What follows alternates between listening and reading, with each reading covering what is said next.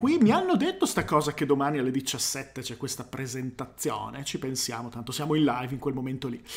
E, ehm, avete visto, avete visto, abbiamo fatto anche il video con Giacomo è stato, è stato, un vero piacere. Ciao a tutti, Be- ben arrivati. Non, non, non, inizio a salutarvi perché vi ho skippati tutti, quindi per, per, correttezza non saluterò nessuno in particolare. Consideratevi tutti salutati con, con sputacchietto infetto. si ride naturalmente per non piangere in queste situazioni. Eh, so, sono contento perché ho acquistato Car- Carver, sono, mi fa molto, molto piacere e dei fratelli Karamazov leggo.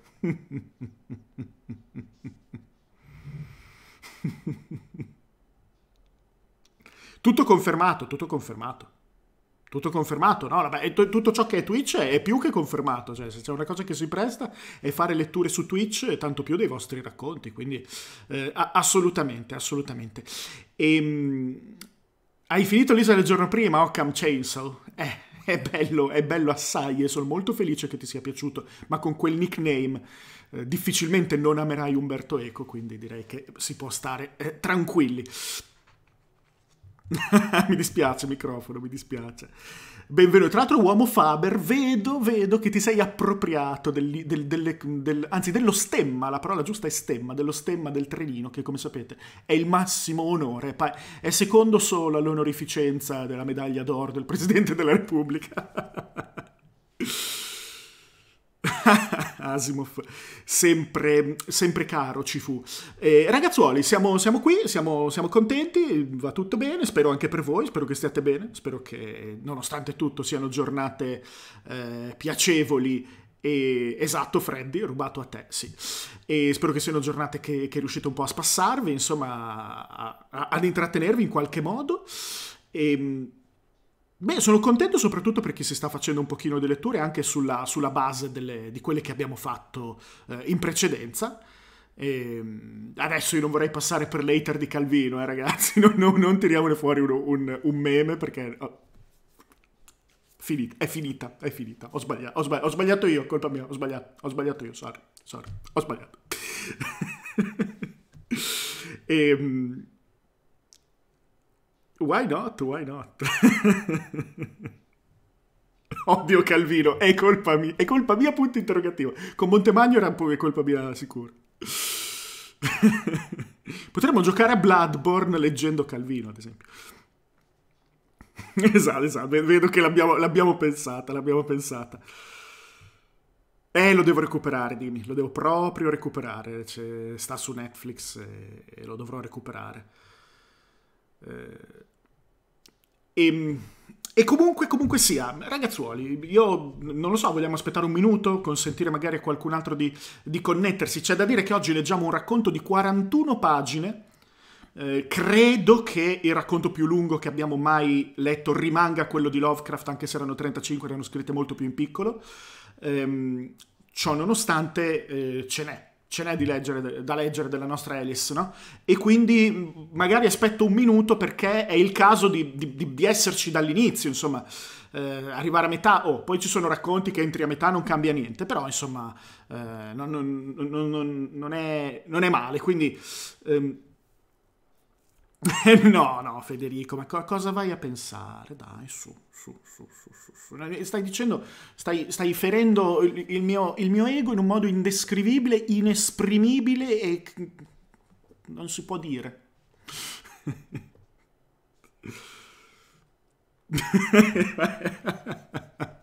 Leggeremo, leggeremo in fuga la title track, per così dire, cioè il racconto che dà il titolo a questa raccolta della, della Alice Munro, che è premio Nobel per la letteratura nel 2013, non che questo a me significhi nulla, però comunque si vede che qualcuno oltre a noi le ha dato, le ha riconosciuto un valore, evidentemente è considerata, leggo qui, la più importante autrice canadese contemporanea eh, di, di Wingham, Ontario, se lo volete sapere, ha pubblicato 13 raccolte di racconti e un romanzo. Eh, e insomma è, è, è molto molto molto quotata, non c'è bisogno di dirlo, sono veramente veramente curioso di eh, leggere questo, questo racconto. Um, no, Federico, no, no, no, no, no, no, no, no. Vero, vero, Zac. Speriamo, speriamo. Dai, io insomma sono veramente curioso. Sapete che la cosa bella, cioè, ho ancora un sacco di libri da aprire lassù. La cosa bella è che ehm, conosciamo ed incontriamo autori e autrici che mai nella vita avremmo preso in considerazione. Questa è una grande figata. Grazie mille, Emanuele, per il tuo supporto. Come eh, state capendo, eh, ho silenziato quel genere di notifiche perché durante la lettura sarebbero fuori luogo. Però eh, grazie, grazie mille. Um, Bella questa Valzer. Ma se ti chiudessero in una stanza con Lovecraft, Calvino e Bloodborne, giocheresti a Dark Souls 2? Probabilmente sì. ne sono contento, Dario. Credo che, visto che sei un musicista, credo che sia una bella attività. Dai, dai, dai, dai, dai. Io dico che, che dite, sono gli 06, tra l'altro ce l'ho anche lì. Eh, sono gli 06, eh, speriamo che non sia di quei racconti che dopo mezza riga sei tagliato fuori.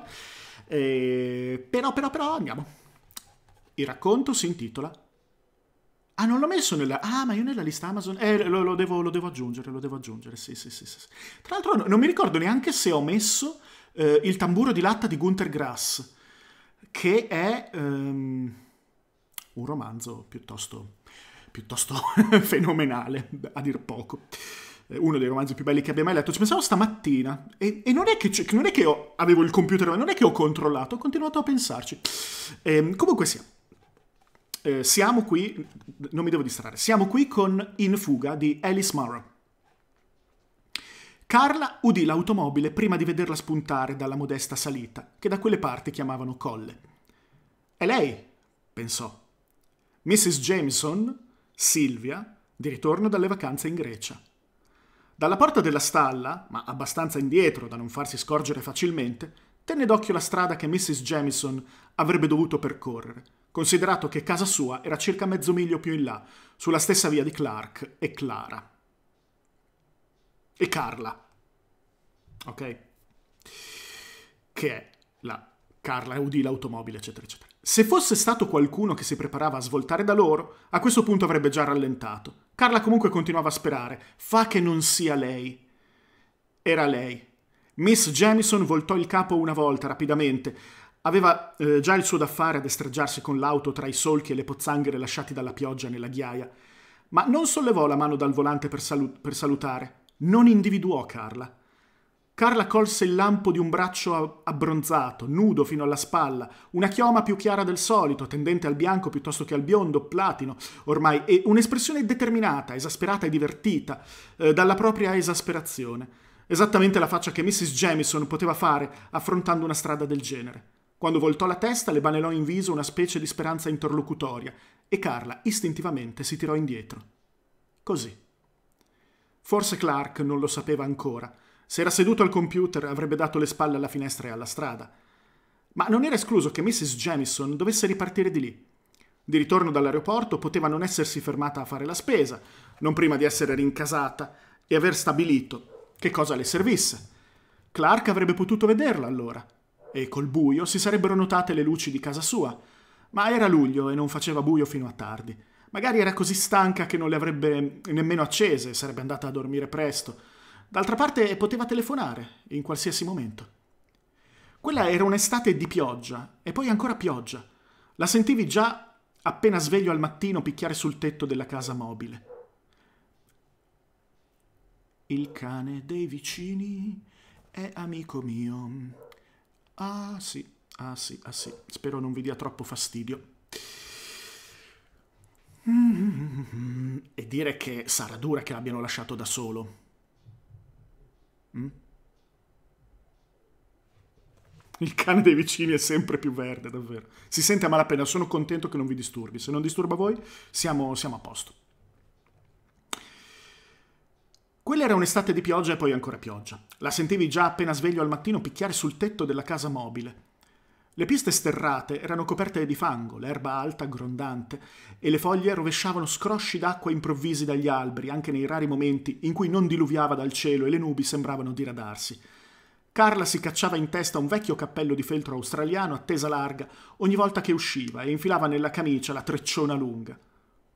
Per le escursioni a cavallo non si presentava nessuno, anche se Clark e Carla avevano affisso avvisi pubblicitari in tutti i campeggi, nei caffè, nella bacheca dell'ufficio turistico e dovunque lo ritenessero utile. Venivano solo pochi allievi a lezione e per di più quelli abituali, non le infornate di scolaretti in vacanza, gli interi autobus dei campi estivi che avevano dato loro lavoro per tutta l'estate scorsa.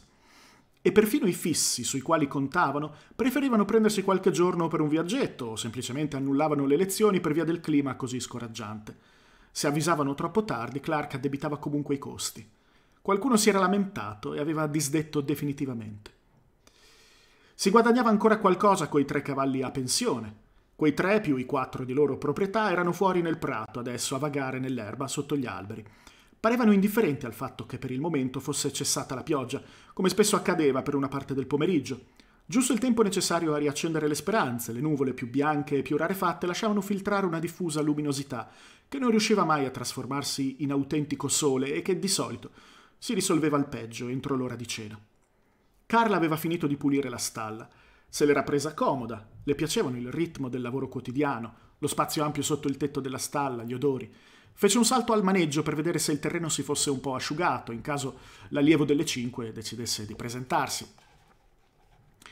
Le piogge costanti non erano state quasi mai molto fitte o accompagnate da turbini di vento, ma la settimana precedente si era verificato uno scompiglio improvviso e poi un rovescio tra gli alberi con una raffica d'acqua pressoché di taglio. Nel giro di un quarto d'ora il temporale era passato, ma la strada era ingombrata di rami spezzati, era caduto qualche cavo elettrico e una vasta porzione della tettoia in plastica sul recinto dei cavalli si era staccata. Non so perché chi ha seguito Kentucky Route Zero sto visualizzando l'ultimo capitolo, non so perché. Al fondo della pista si era formata una pozza grande come un lago e Clark aveva lavorato fino a sera inoltrata per scavare un fossato di scolo. La tettoia non era stata ancora rimessa in sesto, Clark aveva risolto con del filo metallico che isolasse la parte scoperta per evitare che i cavalli finissero nel fango, mentre Carla aveva tracciato un percorso più breve. Al momento Clark era a caccia di un magazzino per acquistare telefoni da copertura su internet, magari una svendita da un rottamaio. Teloni, telo, che cazzo leggo telefoni? Scusatemi, vi chiedo scusa, infatti, mio Dio, scusatemi. Al momento Clark era a caccia di un magazzino per acquistare teloni da copertura su internet i telefoni da copertura, ma io, io, non lo so. Magari una svendita da un rottamaio a prezzi abbordabili, oppure qualcuno che volesse disfarsi eh, di articoli del genere, usati. Eh, di andare in paese alla materiali per edilizia Mayan Robert Buckley, specializzata secondo lui in rapine a cassa armata, non aveva nessuna voglia, eh, perché doveva loro troppi soldi e ci aveva già litigato. Clark litiga- non litigava soltanto con quelli a cui doveva dei soldi, la sua cordialità, irresistibile inizialmente, poteva guastarsi all'improvviso. C'erano posti in cui non metteva più piede a causa di qualche litigio, costringendo sempre Carla a entrarci. Uno di questi era la farmacia. Una vecchia gli era passata davanti, o meglio, era uscita dal negozio avendo scordato qualcosa e di ritorno gli era passata davanti anziché mettersi in fondo alla fila. Lui si era lamentato e la cassiera, e la cassiera gli aveva detto: La signora ha l'enfisema. Al che Clark aveva risposto: Ma davvero, io invece ho emorroidi. Così era stato chiamato il direttore a dirgli che si trattava di una battuta gratuita. Nella caffetteria della statale, invece, gli era stata negata la tariffa scontata per il menù colazione in virtù del fatto che erano passate le 11 del mattino e Clark aveva ingaggiato una discussione, poi aveva lasciato cadere la tazza del caffè da sport, mancando di un soffio, si disse, un piccolo impasseggino. Lui rispose che il bambino era a mezzo miglio di distanza e che la tazza si era versata in quanto sprovvista di regolare coperchio. Gli fecero notare che non l'aveva richiesto. Lui disse che non avrebbe dovuto essercene bisogno. Prendi subito fuoco, diceva Carla. Capita agli uomini. Non gli aveva detto nulla riguardo alla, alla lite con Joy Tucker, invece. Joy Tucker era la bibliotecaria di zona che aveva un cavallo a pensione da loro. Una piccola giumenta eh, saura, eh, che è una tipologia di cavallo evidentemente, eh, una tipica eh, giumenta saura, ma perché ho le cuffie? Scusatemi. Oddio, oddio, adesso è tutto strano, sento tantissimo. Una piccola giumenta saura molto irascibile di nome Lizzie. Eh, quando era in vena di battute, Joy Tucker eh, la chiamava Lizzie Borden, Lizzie la Biz, Lizzie le Bizze, insomma, non è molto, molto tranquilla. Eh, il giorno prima, eh, eh, d'umore tutt'altro che scherzoso, l'aveva montata lamentandosi del tetto non ancora riparato e di aver trovato Lizzie in pessima forma, come se, fosse, come se si fosse presa un'infreddatura. Lizzie, diciamo Lizzie piuttosto che Lizzie, perché è un po' più semplice, Lizzie eh, stava benone in realtà. Eh, Clark aveva tentato, per i suoi standard, di mostrarsi conciliante. Ma a quel punto era stata Joy Tucker a prendere fuoco, a definire quel posto una discarica e a dire che Lizzie meritava di meglio. E Clark le aveva, risposto: Si accomodi. A differenza di quanto si aspettava Carla, Joy non aveva portato via Lizzie, non ancora almeno. In compenso, Clark, che fino a quel momento aveva trattato l'animale come il suo cucciolo prediletto, non aveva più voluto averci nulla a che fare. Di conseguenza, Lizzie si era offesa e adesso si impuntava durante le esercitazioni ed era recalcitrante e capricciosa ogni volta che le si dovevano pulire gli zoccoli, vale a dire ogni giorno, per evitare che si coprisse di funghi. Carla doveva fare attenzione che non la mordesse. Ma la cosa peggiore per Carla era l'assenza di Flora, la piccola capra bianca che faceva compagnia ai cavalli nella stalla e nel prato. Non c'era traccia di lei da due giorni. Carla temeva potessero averla attaccata ai cani selvatici o ai coyote, o addirittura un orso. L'aveva sognata la notte prima e quella precedente.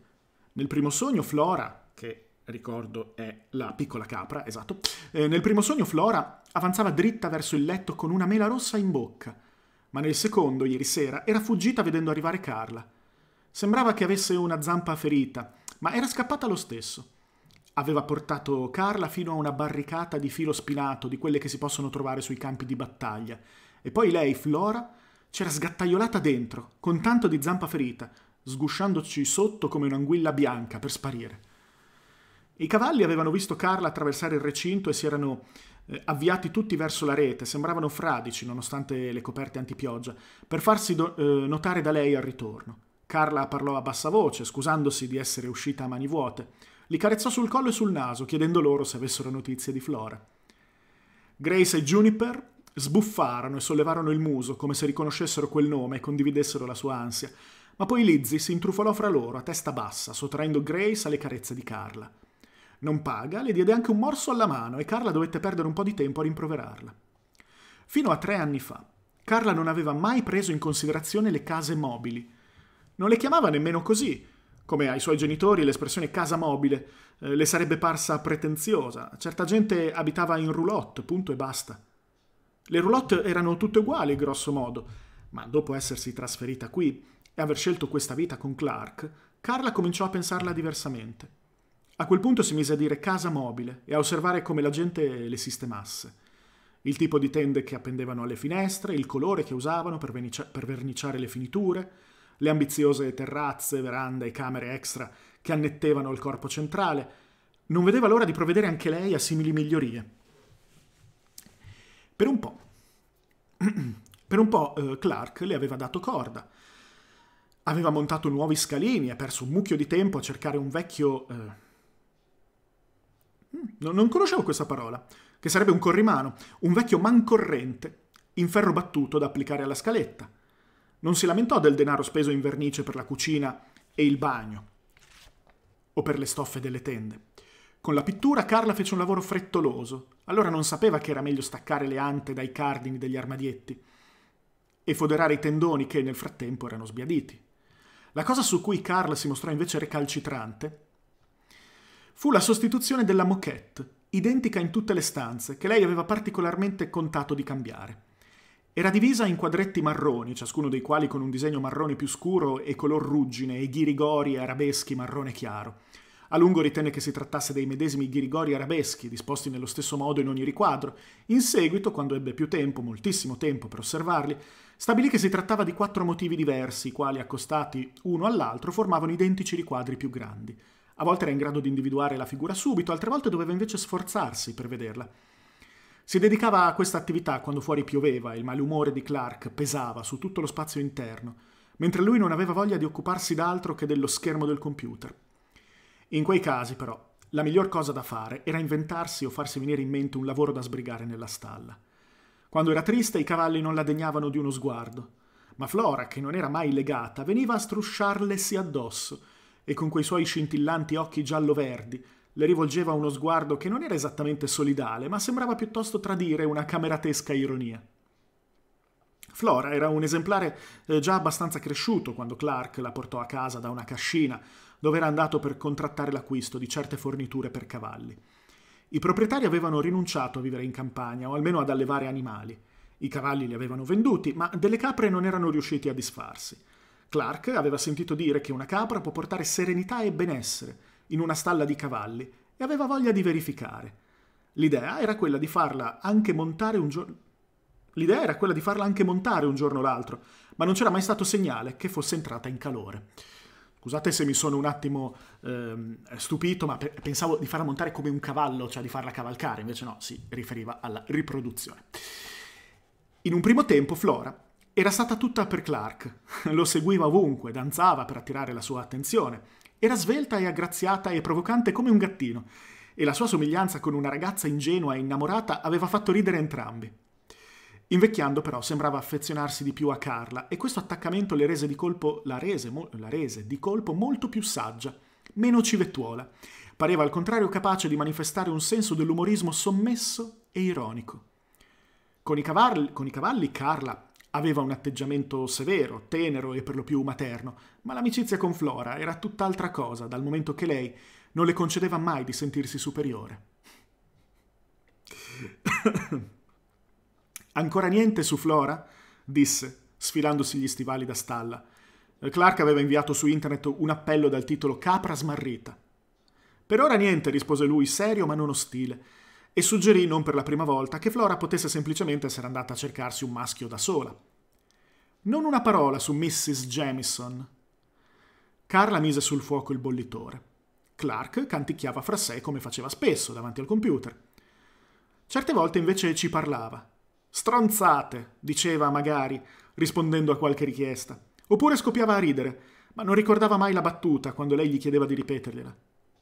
Carla gridò: Vuoi un tè? E con sua sorpresa lui si alzò e venne in cucina. Allora, disse. Allora, Carla. Allora che? Allora ha chiamato. Chi? Sua Altezza, la regina Silvia, è appena tornata. Non ho sentito la macchina. Non mi pare di avertelo chiesto. E perché chiamava? Vuole che tu vada ad aiutare a mettere a posto la casa. Ha detto così, domani. Tu cosa hai detto? Le ho detto certo, ma meglio che la richiami per confermare. Carla disse, non vedo perché, se lei hai già detto di sì. E versò i due tazzoni di tè. Le ho pulito la casa prima che partisse, non capisco che cosa può esserci da fare di tanto urgente.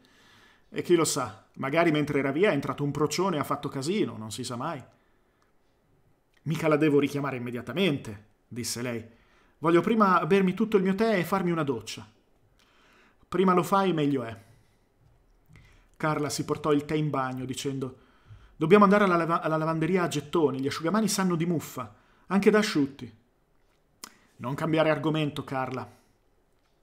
Perfino dopo che fu entrata nella doccia, Clark rimase sulla porta a gridarle. Non intendo levarti dalle peste, Clarla, Carla.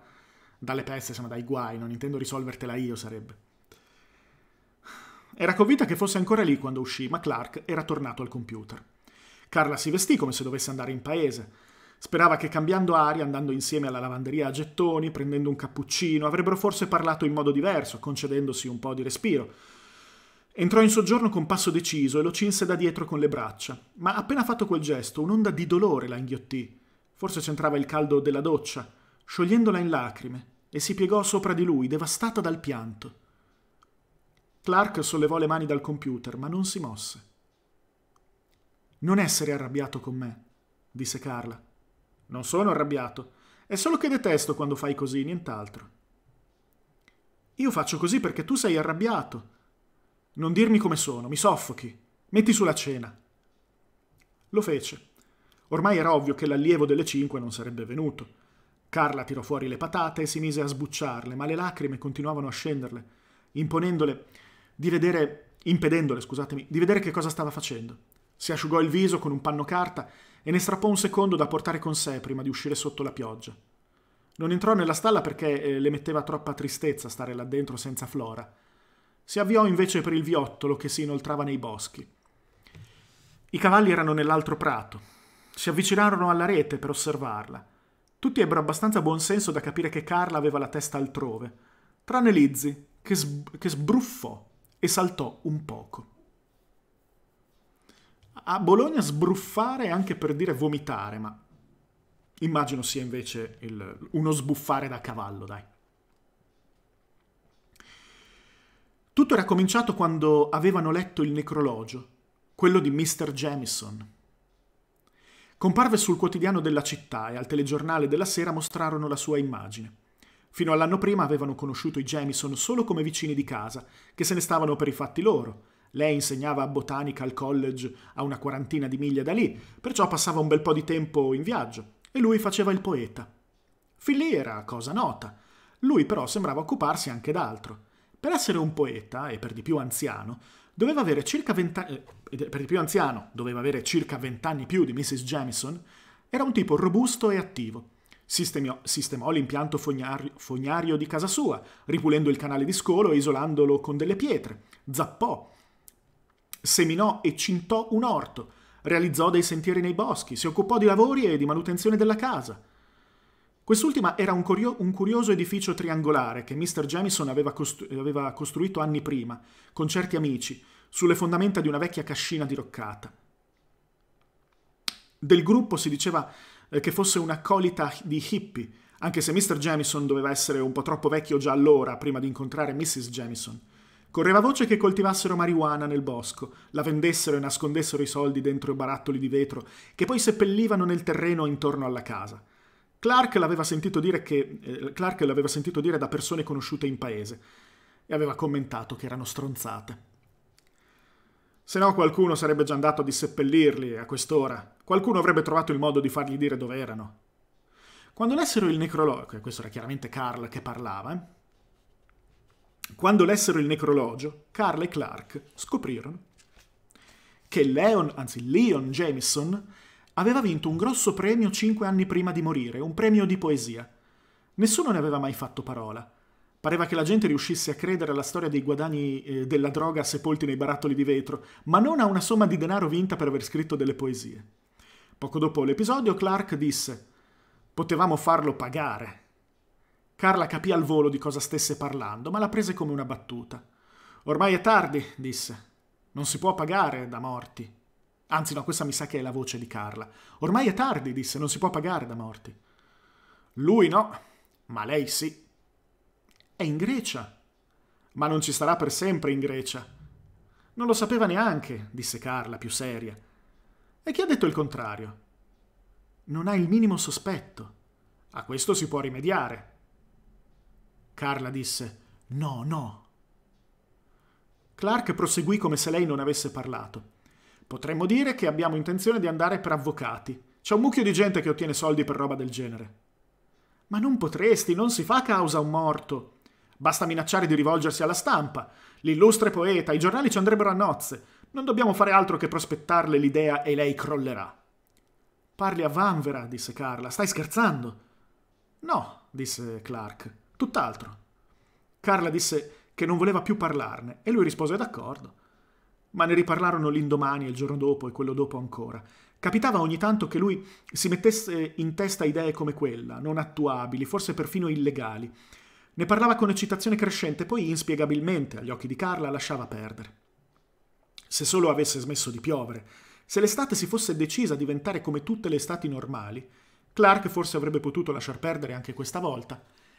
Ma non era andata così e nel corso dell'ultimo mese aveva insistito sul progetto come se fosse perfettamente sensato e realizzabile. La questione era quanti soldi chiedere. Troppo pochi e la donna poteva non prendere la faccenda sul serio. Poteva convincersi che stessero bleffando. Troppi e magari si tirava indietro, diventava ostinata. Carla smise di chiedergli se stava scherzando. Gli disse invece che non avrebbe funzionato, che per cominciare la gente si aspettava comportamenti del genere che per cominciare la gente si aspettava comportamenti del genere da un poeta, perciò non valeva la pena di investire dei soldi per mettere tutto a tacere. Lui ribatté che avrebbe funzionato facendo le cose per bene. Carla doveva crollare e raccontare tutta la storia a Mrs. Jamison. A quel punto sarebbe intervenuto Clark, come se non ne sapesse nulla, come se l'avesse appena scoperto, Si sarebbe mostrato furioso, pronto a spifferare tutto il mondo intero. Avrebbero fatto sì che la prima a parlare di soldi fosse proprio Mrs. Jamison. Il danno l'hai subito tu, in quanto molestata e umiliata. E anche io, in quanto tuo marito. È una questione di rispetto. E avanti a ripetere sempre la stessa cosa, mentre lei cercava di dissuaderlo e lui insisteva. Promettimelo, disse Clark, promettimelo. Il tutto, il, il, tutto, scusate, a causa di ciò che lei gli aveva raccontato, cose che adesso non poteva ritrattare o negare. E qui eh, ci sono delle scritte che sono in corsivo, che mm, rappresentano un, un dialogo, accenni di dialogo precedenti.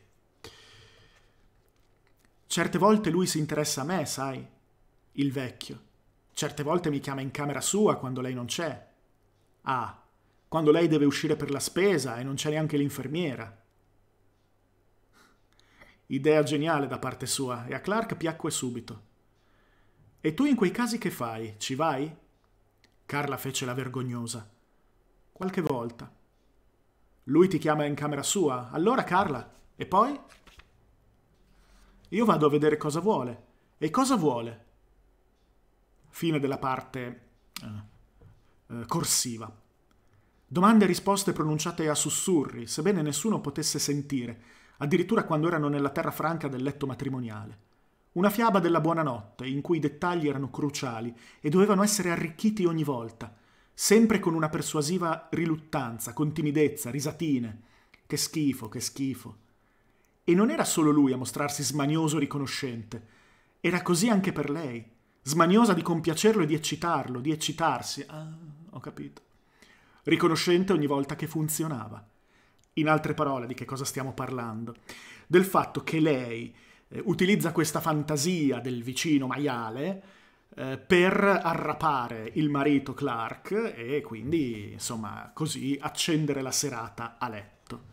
E quindi era un'idea che, che, se non ho capito male, poi lo scopriremo, che nasceva come gioco erotico. E però lui muore e eh, diventa eh, qualche cosa di diverso. Diven- sì, sì, davvero, Zack, davvero. Diventa un piano. Interessante, se, se, ho capito bene, è interessante sta cosa. E, vi dico che non dovrebbero esserci problemi di streaming, nel senso che non ho perso frame e il bitrate è costante. E, e così anche per lei smaniosa di compiacerlo e di eccitarlo, di eccitarsi, riconoscente ogni volta che funzionava. E in un angolo della sua testa era vero. Rivedeva il vecchio libidinoso, il rigonfiamento sotto il lenzuolo. Un uomo effettivamente confinato a letto, quasi privo dell'uso della parola, ma eloquente a livello gestuale, capace di comunicare il suo desiderio, di persuaderla con gomitate palpeggiamenti a una complicità, a effusioni e, compiacen- e compiacenti acrobazie. Il rifiuto da parte sua era doveroso, ma forse, curiosamente, anche una lieve delusione per Clark. Di quando in quando affiorava un'immagine e Carla doveva cacciarla indietro a mazzate per non rovinare ogni cosa. Le tornava in mente il vero corpo, gracile sotto il lenzuolo, pieno di farmaci e in via di costante rattrappimento ogni giorno, in quel letto da ospedale preso a noleggio, un corpo intravisto solo di rado quando Mrs. Jamison o l'infermiera a domicilio dimenticavano di chiudere la porta. Lei in effetti non gli si era mai avvicinata più di così. In realtà ogni volta tremava l'idea di andare dai Jamison, ma le servivano i soldi e poi le faceva pena Mrs. Jamison, con quell'aria tormentata e sgomenta da sonnambula. Un paio di volte Carla si era lasciata andare, a vere e proprie buffonate pur di allentare un po' la tensione. Il tipo di espediente che utilizzava anche con gente goffa e terrorizzata, che, eh, montando a cavallo per la prima volta, si vergognava. Tempo addietro ci aveva provato anche con Clark, quando si impantanava nei suoi malumori, ma con lui non funzionava più. La storia di Mr. Jamison invece aveva funzionato, decisamente.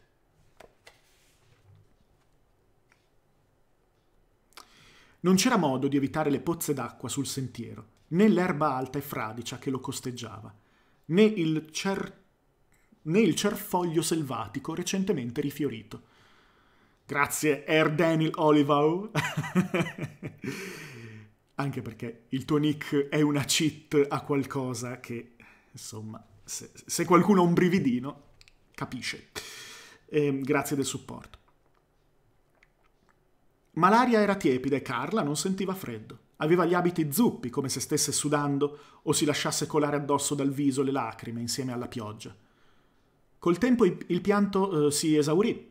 Non aveva niente per pulirsi il naso, essendo ormai fradicia la carta, ma si chinò e lo soffiò for- forte dentro una pozzanghera.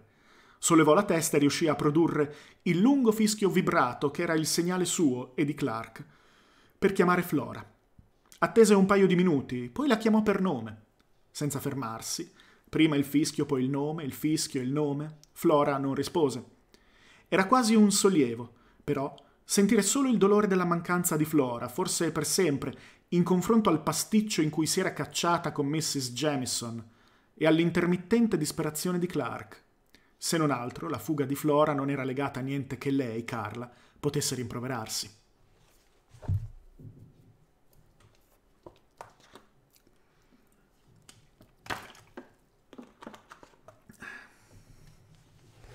Eh.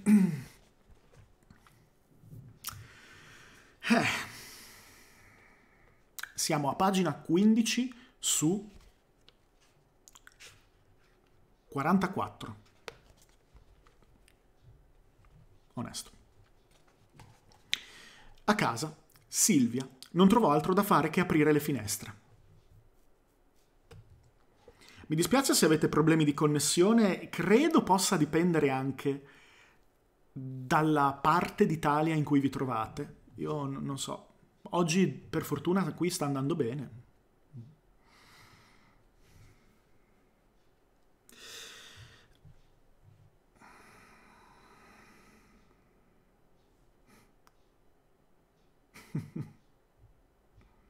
eh, infatti, infatti, infatti, Calypso.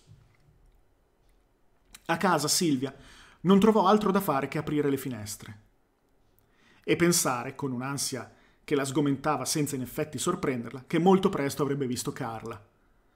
Tutto l'armamentario della malattia non c'era più. La camera, che un tempo era stata eh, stanza da letto di Silvia di suo marito, poi capezzale di morte, si presentava pulita e riordinata, come se non vi fosse mai accaduto nulla. Carla aveva dato una mano durante quei pochi giorni frenetici tra la cremazione e la partenza di Silvia per la Grecia. Ogni singolo vestito indossato da Leon e anche qualche articolo nuovo, compresi certi regali delle sorelle che non aveva mai neppure aperto, erano stati ammucchiati sul sedile posteriore dell'auto e consegnati alla bottega dell'usato. Pillole, set da barba, lattine intatte della bevanda ricostituente che lo aveva tenuto in piedi fino al limite del possibile, scatole di quei biscotti al sesamo che un tempo mangiava a dozzine, bottiglie di plastica piene della lozione, usata per massaggiargli la schiena, le pelli di pecora su cui si era sdraiato. Tutto venne scaraventato dentro sacchi di plastica e gettato nella spazzatura, senza che Carla facesse il minimo commento. Non disse mai, forse a qualcuno potrebbe servire, né fece notare che c'erano scatole intere di lattine intatte. Quando Silvia disse, sono pentita di aver portato i vestiti in paese, preferirei averli bruciati nell'inceneritore. Carla non si mostrò affatto sorpresa. Sgrassarono il forno, lavarono a fondo gli armadietti di cucina, pulirono muri e finestre. Un giorno Silvia sedette in salotto e passò in rassegna tutte le lettere di condoglianze ricevute.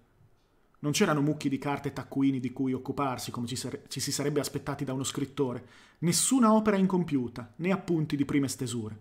Mesi prima lui le aveva detto di aver buttato via tutto, senza rimpianti. Scritto in corsivo. Il muro della casa rivolto a meridione era un'unica teoria di grandi finestre. Silvia alzò gli occhi, sorpresa dal sole pallido che era uscito, o forse dall'ombra di Carla, in cima a una scala, braccia e gambe nude, la faccia risoluta, incoronata da un'aureola di capelli arruffati come soffioni e troppo corti per stare raccolti nella treccia insieme agli altri. Era lì che spruzzava i vetri e li lucidava vi- vigorosamente. Quando si accorse che Silvia la stava guardando, si interruppe e allargò le braccia come se volesse aderire al vetro e assunse una sciocca espre- espressione da gargolla. Scoppiarono a ridere tutte e due. Silvia sentì la risata correrle, correrle nelle vene come un torrente d'allegria. Tornò alle sue lettere mentre Carla si rimetteva a pulire. Decise che tutte quelle parole gentili, sincere o di circostanza, gli omaggi e i rimpianti potevano fare la stessa fine delle pelli di pecora e dei biscotti. Quando udì Carla tirar giù la scala e, e poi i suoi passi sulla veranda, la colse un moto di timidezza. Restò seduta dove era a testa bassa, mentre Carla le passava alle spalle, diretta in cucina per riordinare il secchio e il rotolo di carta sotto il lavello. Carla si fermò appena, passando rapida come un uccello, ma riuscì a depositare un bacio sul capo chino di Silvia, poi continuò a fischiettare qualcosa tra sé e sé. Da allora quel bacio non era più uscito dalla mente di Silvia. Non significava niente di speciale, voleva dire su con la vita, oppure ci siamo quasi. Voleva dire che erano due buone amiche e che insieme avevano sbrigato un mucchio di faccende deprimenti. O magari soltanto che era uscito il sole, che Carla stava pensando di tornare a casa dai suoi cavalli, eppure a Silvia sembrò un fiore coloratissimo i cui petali le invasero il corpo di un impetuoso calore, come una vampata da menopausa. Mamma mia. Pazzesco, questo non me l'aspettavo, non me l'aspettavo. Stavo per dire, madonna che sviolina, che smielata sta descrizione, come una vampata da menopausa. Di quando in quando le era capitata qualche studentessa speciale ai corsi di botanica, ragazze intelligenti che, con la loro dedizione, il goffo egocentrismo o la genuina passione per il mondo della natura, le avevano ricordato lei stessa da giovane. Costoro, costoro le ronzavano attorno adoranti, speravano di guadagnare una specie di intimità alla quale per lo più non avrebbero saputo dar forma, e in breve le davano sui nervi. Carla era tutta un'altra cosa, se la si fosse dovuta paragonare a qualcuno nella vita di Silvia, sarebbe stato a certe sue compagne di liceo, quelle in gamba ma non troppo, buone atlete ma non devastate dalla competitività, cordiali ma non chiassose, allegre di natura. Il posto dove, qui è, è un, un, discorso diretto, il posto dove ero, un paesino minuscolo, dove sono stata con le mie due vecchie amiche, era di quelli dove una volta ogni chissà quanto si fermava un autobus, come se avesse perso la strada, i turisti scendono e si guardano intorno assolutamente sbigottiti di ritrovarsi lì nel bel mezzo di niente. Non c'era una sola cosa da comprare. Silvia raccontava della Grecia. Carla eh, sedeva un po' più in là. La ragazzona impacciata e solare era finalmente seduta lì, nella stanza che era stata piena di pensieri sul suo conto. Sorrideva appena e annuiva placidamente. E in un primo tempo non mi capacitavo neanch'io. Faceva così caldo però è vera la storia della luce, è stupenda. Alla fine ho capito che cosa bisognava fare, pochissime semplici cose che però possono riempire la giornata. Fai mezzo miglio di strada in su e poi ti compri un po' d'olio, mezzo miglio in giù e ti prendi il pane e il vino e così se ne va la mattina, poi mangi un boccone all'ombra sotto le piante e dopo pranzo fa troppo caldo per qualsiasi cosa, che non sia ascoltare gli scuri e sdraiarti sul letto magari a leggere. All'inizio leggi, poi neanche più quello, chi te lo fa fare? Più tardi ti accorgi che le ombre si sono allungate, allora ti alzi e vai a farti una nuotata. Oh, si interruppe, dimenticavo. Saltò in piedi e andò a prendere il regalo che aveva portato e di cui non si era scordata affatto. Non le era sembrato il caso di darlo subito a Carla, voleva aspettare un momento in cui fosse sembrato più naturale e mentre parlava aveva, aveva pensato di farlo coincidere con il riferimento al mare, ai bagni di mare, dicendo, come ora fece, sai, i bagni mi hanno fatto ricordare questo, perché è una riproduzione in scala, sì, una riproduzione ridotta del cavallo che hanno trovato sott'acqua, scolpito in bronzo. L'hanno recuperato dopo tutto questo tempo. Sembra che risalga al secondo secolo a.C. Quando al suo arrivo Carla si era guardata intorno per capire che cosa ci fosse da sbrigare, Silvia le aveva detto Dai, siediti un attimo. Non ho avuto nessuno con cui parlare da quando sono tornata, per favore. E Carla si era seduta sul bordo della sedia, a gambe larghe, le mani tra le ginocchia, con aria un po' desolata. Poi, come rovistando tra remote scorte di buone maniere, aveva chiesto com'era la Grecia. Quindi, capite, il tempo è andato indietro, avanti, no? Ci sta inquadrando con leggeri scarti temporali una, piccola scena, no? E c'è un, c'è una, una grandissimo... Um, un, un, in questo racconto c'è un, un intelligente uso del, del tempo. Non è tutto lineare, ci sono degli avanti e indietro, anche molto piccoli, ma che servono a dare ritmo. Non so se lo state notando, è una cosa molto molto sottile. Com'era la Grecia? Adesso era in piedi, con il cavallo ancora mezzo avvolto, avvolto nella carta velina stropicciata. Dicono che rappresenti un cavallo da corsa, disse Silvia, nel gesto dell'ultimo scatto, lo sforzo finale della gara. Vedi, anche il cavaliere, il ragazzo, lo incita al limite estremo delle forze. Non fece parola del fatto che quel ragazzo le avesse ricordato Carla e che non avrebbe saputo dire perché. Non doveva avere più di 10-11 anni. Forse per la forza e la grazia del braccio che in teoria doveva reggere le redini, o magari per le rughe sulla fronte infantile, la concentrazione assorta, e lo sforzo simile in un certo senso a quelli che faceva Carla la primavera scorsa mentre puliva i finestroni. Le gambe robuste nei pantaloncini, le spalle larghe, gli ampi gesti del braccio sul vetro e infine il modo in cui si era stampata per scherzo contro la finestra, invitando, se non addirittura costringendo Silvia a mettersi a ridere. Eh già, si vede, disse Carla, che ora esaminava diligentemente la statuetta color bronzo verdastro. Grazie infinite. Vi faccio notare una cosa. Vi faccio notare una cosa. Lei faceva questa domanda, Carla, dice, com'era la Grecia? E dopo lei dice, era in piedi con il cavallo, eccetera. Non è un, um, un diciamo, uno stacco, uh, non manca qualcosa com'era la Grecia è la domanda che finisce il prequel che abbiamo appena letto della scena che poi va a continuare. E dopo riprendiamo lei che va a prendere il regalo, mentre ci hanno appena fatto un piccolo um, flashback di Carla che introduceva il, la conversazione, capite? Eh, è fatto così.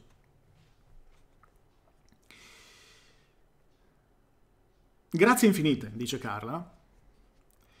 Figurati, che ne dici di un caffè? L'ho appena fatto. In Grecia il caffè è molto forte, un po' troppo per i miei gusti. Il pane in compenso è divino, e i fichi maturi da non crederci. Sediti ancora un momento, ti prego. Non dovresti lasciarmi parlare così, dovresti fermarmi. Che mi dici di qui? Com'è stata la vita da queste parti? Pioggia, quasi tutto il tempo. Lo vedo, me ne sono accorta, disse Silvia a voce alta dalla zona cucina del vasto locale, mentre versava il caffè. Decise che non avrebbe fatto parola dell'altro regalo che aveva portato. Non le era costato niente. Il cavallo invece l'aveva pagato più di quanto probabilmente la ragazza immaginasse. Era solo un bellissimo sasso bianco rosato che aveva raccolto per strada. Questo è per Carla, aveva detto all'amica Maggie che le camminava accanto, in Grecia. Lo so che è sciocco, ma voglio che abbia un pezzetto di quest'isola.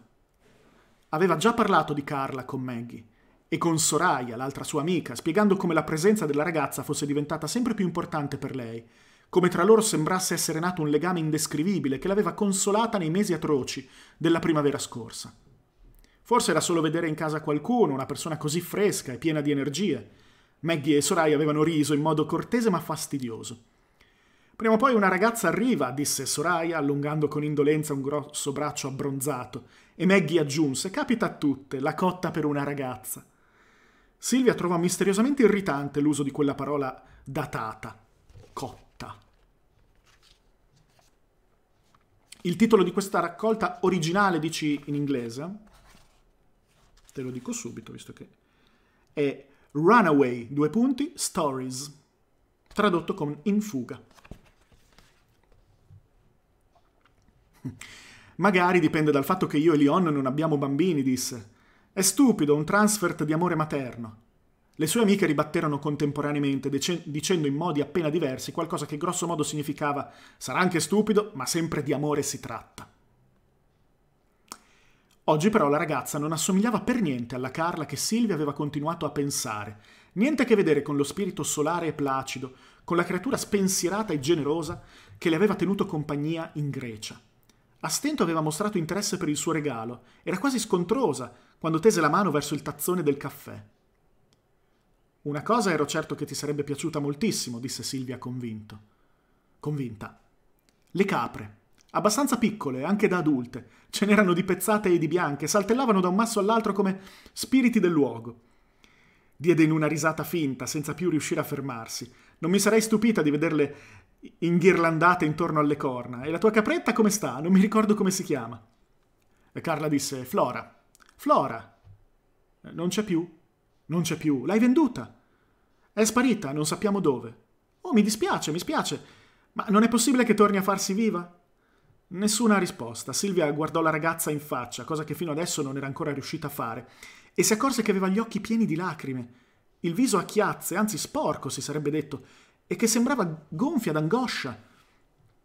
Non fece nulla per evitare lo sguardo di Silvia. Tese forte le labbra sui denti, chiuse gli occhi e si dondolò avanti e indietro in una specie di muto ululato che poi, in modo del tutto sconveniente, le uscì proprio di gola. Ululò e pianse e annaspò in cerca d'aria, con le lacrime che, che, le colavano giù per le guance e il moccio che le scendeva dal naso, e a quel punto cominciò a guardarsi intorno alla ricerca smaniosa di qualcosa con cui asciugarsi. Silvia corse a prenderle una manciata di Kleenex. Sta tranquilla, ecco, prendi, va tutto bene, disse, pensando che forse la cosa giusta da fare sarebbe stata prendere la ragazza fra le braccia. Ma non ne aveva il minimo desiderio e poi poteva anche peggiorare la situazione. Carla poteva accorgersi di quanto poco Silvia avesse voglia di farlo, di quanto anzi quello sfogo poco dignitoso la spaventasse. Carla disse qualcosa una, due volte. È terribile, diceva, terribile. Ma no, capita a tutti di dover piangere, va bene così, sta tranquilla. È terribile e Silvia non poteva non sentire come, con il procedere di quella manifestazione di angoscia, la ragazza si dimostrasse sempre più banale, sempre più simile a una delle tante studentesse piagnucolose che le invadevano l'ufficio. Alcune di loro frignavano per i voti, ma era spesso una mossa tattica, un breve piagnisteo poco convincente. I pianti dirotti più autentici, anche se meno frequenti, finivano per avere sempre a che fare con qualche faccenda d'amore o di genitori o con una gravidanza. La capra non c'entra, giusto? No, no. Ti prendo un bicchiere d'acqua, è meglio, disse Silvia. La lasciò scorrere a lungo, eh, perché fosse fresca, e intanto cercò di farsi venire in mente che altro dire o fare, ma quando tornò con il bicchiere, Carla si stava già calmando. Su, coraggio, disse Silvia, mentre Carla buttava giù l'acqua. Adesso va meglio, no? Sì. La capra non c'entra. Cos'è? E Carla disse: Non lo sopporto più. Che cosa non sopportava più? A quanto pareva, il marito. Ce l'aveva sempre con lei, si comportava come se la odiasse. Lei non ne faceva una giusta, non ne diceva una giusta. Vivere con quell'uomo stava, la stava portando alla pazzia. Certe volte pensava di essere già pazza, certe volte pensava che lo fosse lui. Ti ha fatto del male, Carla? No, non fisicamente, però la odiava, la disprezzava, non la sopportava quando piangeva e lei non poteva non piangere tanto lui era arrabbiato, non sapeva cosa fare.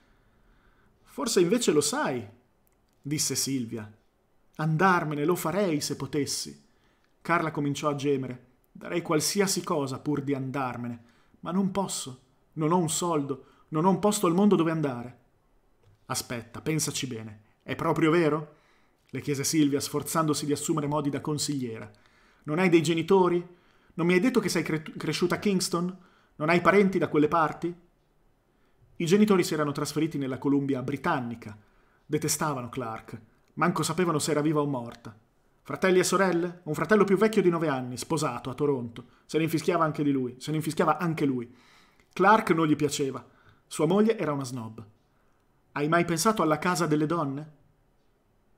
Non ti prendono se non sei stata picchiata. E poi lo verrebbero a sapere tutti, e sarebbe un disastro per il nostro lavoro. Silvia sorrise, educatamente. Ci, ci siete ragazzi? Dario, che cazzo stai... Dai ragazzi, chi è Silvia? Ragazzi, sono, sono, sono quattro personaggi. Leon, il marito di Silvia, poeta, morto. Clark, il marito stronzo di eh, Clara, Carla, di Carla, eh, il, il, tizio che si arrapava a farsi raccontare le fantasie, insomma. E, e Silvia che è la vicina, no? Ah, è la, è la connessione, è la connessione. Ok, ok. Va bene, insomma. Hai mai pensato alla casa delle donne? E Flora, e Flora, ovviamente, ovviamente, ovviamente. Cal, Cal, Clara. Hai mai pensato alla casa delle donne? Non ti prendono se non sei stata picchiata, risponde Carla, capito? E poi lo vorrebbero sapere tutti, sarebbe un disastro per il nostro lavoro. Silvia sorrise educatamente. eh, mi dispiace, Dario, mi dispiace. E Silvia sorrise educatamente. Da qualche parte in questa pagina. E ti pare il momento di preoccuparti di questo? A quel punto Carla si mise a ridere. Lo so, sono pazza. Ascolta, disse Silvia, ascoltami bene. Se avessi soldi, te ne andresti? E dove? A fare cosa? Andrei a Toronto, ribatté Carla, abbastanza pronta. Ma non mi rivolgerei a mio fratello. Starei in un motel o roba del genere, cercherei un lavoro in un maneggio. Pensi che saresti in grado di farlo? Lavoravo in un maneggio l'estate in cui ho incontrato Clark. Adesso ho più esperienza di allora, parecchia di più. Si direbbe che ci hai riflettuto a lungo, disse Silvia pensierosa. E Carla, lo sto facendo adesso. E quando te ne andresti, potendo? Ora, oggi, in questo preciso istante. L'unico ostacolo è la mancanza di soldi? Carla fece un respiro, un respiro profondo. L'unico, disse. D'accordo, fece Silvia. Ascolta la mia proposta. Secondo me non devi andare in un motel. Secondo me dovresti prendere l'autobus per Toronto e andare da una mia amica. Si chiama Ruth Styles. Abita da sola in una, grande, in una casa grande e non le dispiacerà ospitare qualcuno. Ci puoi rimanere finché non ti trovi un lavoro. Ti darò io qualche soldo. Chissà quanti maneggi ci sono a Toronto. Infatti. Allora, che ne pensi? Vuoi che telefoni per sapere a che ora c'è l'autobus? Carla disse di sì. Stava tremando. Si passava le mani su e giù per le cosce e scuoteva vigorosamente la testa. Non posso crederci, disse. Le restituirò tutto, voglio dire grazie, glieli ridarò. Non so cosa dire. Silvia era già al telefono e componeva il numero della stazione degli autobus. Notare naturalmente che... Eh, esattamente, esattamente. Cioè Carla era stata mandata in missione, diciamo così, da Clark per raccontare ben altro, con un ben altro scopo, ma è crollata la, la pressione psicologica di questo rapporto malsano l'ha fatta crollare di fronte a una persona che invece, invece ritiene amichevole.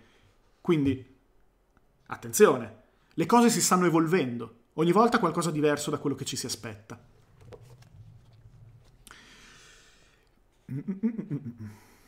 Allora. E Silvia era già al telefono e componeva il numero della stazione degli autobus. Shh, sto prendendo gli orari, disse. Rimase in ascolto, poi riagganciò. Sì, sono certa che me li ridarai. Ti va l'idea di Ruth? La devo avvisare, però c'è un problema, osservò con occhio critico i pantaloncini e la t-shirt di Carla. Non credo proprio che tu possa partire vestita così. Non posso passare da casa a cambiarmi, rispose Carla, terrorizzata. Non fa niente. Sull'autobus c'è l'aria condizionata, così congeli. Ci sarà pure qualcosa di mio che ti sta. Siamo più o meno alte uguali, giusto? Ma lei è dieci volte più magra. Una volta non lo ero. Alla fine optarono per una giacca di lino marrone.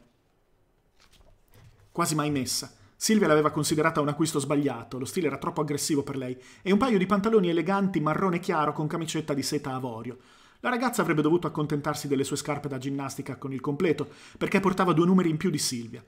Carla andò a farsi una doccia, quella mattina non ci aveva neanche pensato, tanto stava male, e Silvia telefonò a Ruth, la quale sarebbe stata fuori per una riunione la sera, ma avrebbe lasciato la chiave eh, dagli inquilini del piano di sopra, bastava che Carla suonasse da loro. Dalla stazione degli autobus dovrà prendere un taxi, però. Però credo possa farcela, che dici? Silvia scoppiò a ridere. Non è un'oca giuliva, sta tranquilla, quindi stava parlando Ruth, no? Ehi, dall'occhio che dalla stazione dovrà prendere un taxi. Ma stai tranquilla, non è un'oca giuliva. È solo una persona in cattive acque, come può capitare. Ah, bene. Cioè, meno male che sta per uscirne. Tutt'altro che oca, disse Silvia, pensando a Carla mentre si provava i pantaloni eleganti e la giacca di lino. Come fan presto i giovani a riprendersi da una crisi di disperazione, come le era sembrata bella con quei vestiti nuovi. L'autobus arrivava in paese alle 2.20. Silvia decise di preparare delle omelette per pranzo, di apparecchiare con la tovaglia blu scuro e i bicchieri di cristallo e di stappare una bottiglia di vino.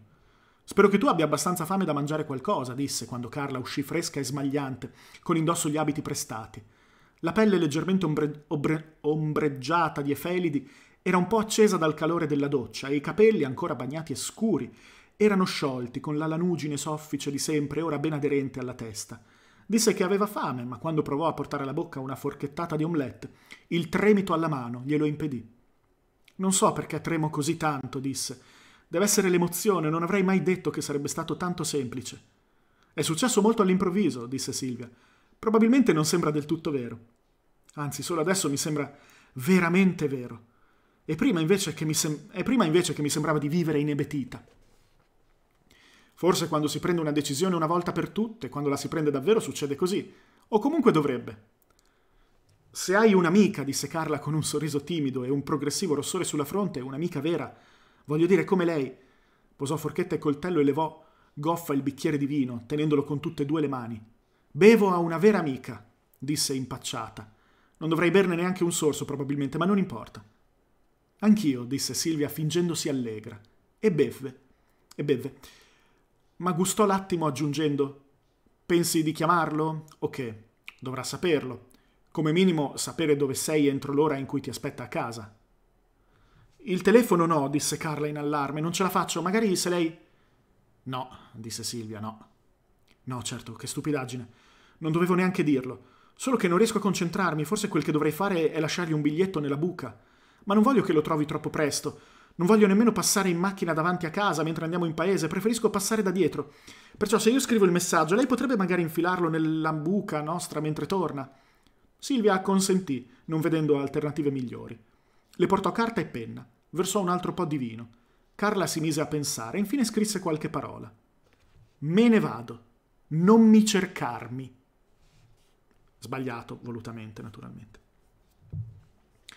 Queste le due frasi che Silvia lesse aprendo il biglietto, sulla via del ritorno dalla stazione degli autobus. Era certa che Carla sapesse scrivere correttamente, ma era agitata e aveva composto il messaggio in uno stato di grande confusione mentale, maggiore forse di quanto avesse intuito Silvia. Il vino aveva prodotto un torrente di parole che tuttavia non erano parse particolarmente addolorate o sconvolte. Quindi abbiamo fatto un avanti temporale, per un attimo abbiamo l'immagine di Silvia che ha già salutato Carla alla stazione degli autobus e ha il biglietto in mano. Però poi adesso sicuramente ci viene raccontato meglio che cosa è successo. Il, il torrente di parole provocato dal vino, che tuttavia non erano parse particolarmente addolorate o sconvolte. Aveva raccontato della scuderia presso la quale lavorava quando aveva conosciuto Clark. A 18 anni, appena finito il liceo, i suoi volevano che andasse all'università e lei aveva consentito a, parsi, a patto di potersi iscrivere a veterinaria. L'unica cosa che desiderava, che aveva sempre desiderato, era lavorare con gli animali e abitare in campagna. Al liceo era stata la classica inetta, una di quelle ragazze su cui girano un mucchio di battute sgradevoli, ma lei non ci badava. Clark era il miglior maestro di equitazione della scuola. Schiere di donne gli stavano appresso, si iscrivevano a lezione solo per averlo come insegnante. Carla lo prendeva in giro sulle donne e in un primo momento lui pareva divertirsi, ma poi si irritò. Lei gli chiese scusa e cercò di rimediare facendolo parlare del suo sogno, del suo progetto, anzi, mettere su una scuola di equitazione, una scuderia in aperta campagna. Un giorno Carla entrò nella stalla. Lo vide appendere la sella e seppe di essere innamorata. Ora pensava si fosse trattato di sesso. Probabilmente era stata solo una questione di sesso.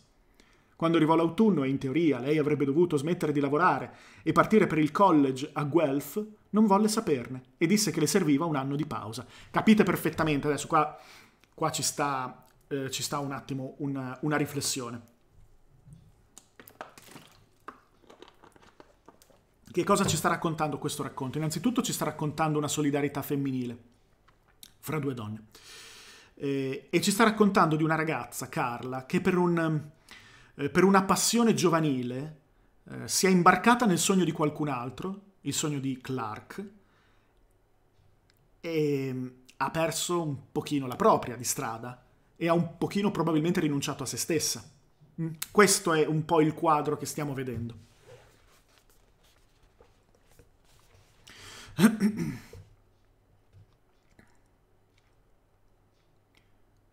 Non andò al college, eccetera. Disse che le serviva un anno di pausa. Clark era intelligentissimo, ma non aveva nemmeno voluto finire il liceo. Con la famiglia aveva eh, perso in pratica tutti i contatti. Secondo lui i parenti erano come un veleno nel sangue.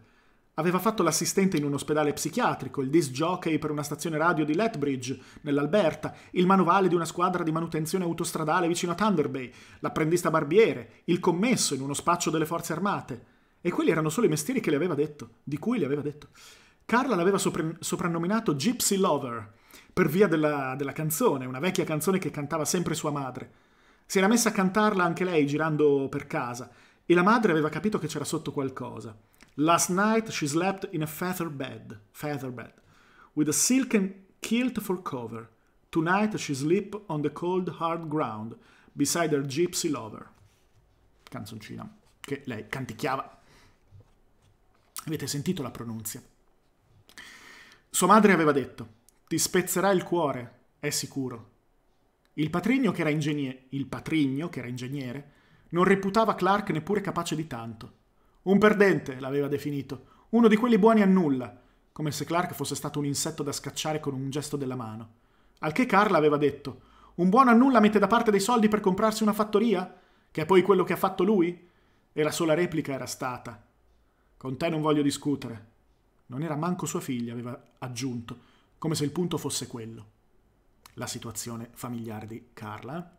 Perciò ovviamente Carla aveva dovuto fuggire con Clark altra spinta no? a fare questa cosa, non le ragioni per cui dovresti farlo. Per come si erano comportati i suoi, in pratica non le avevano lasciato scampo. Credi che li cercherai una volta sistemata? le domandò Silvia, a Toronto.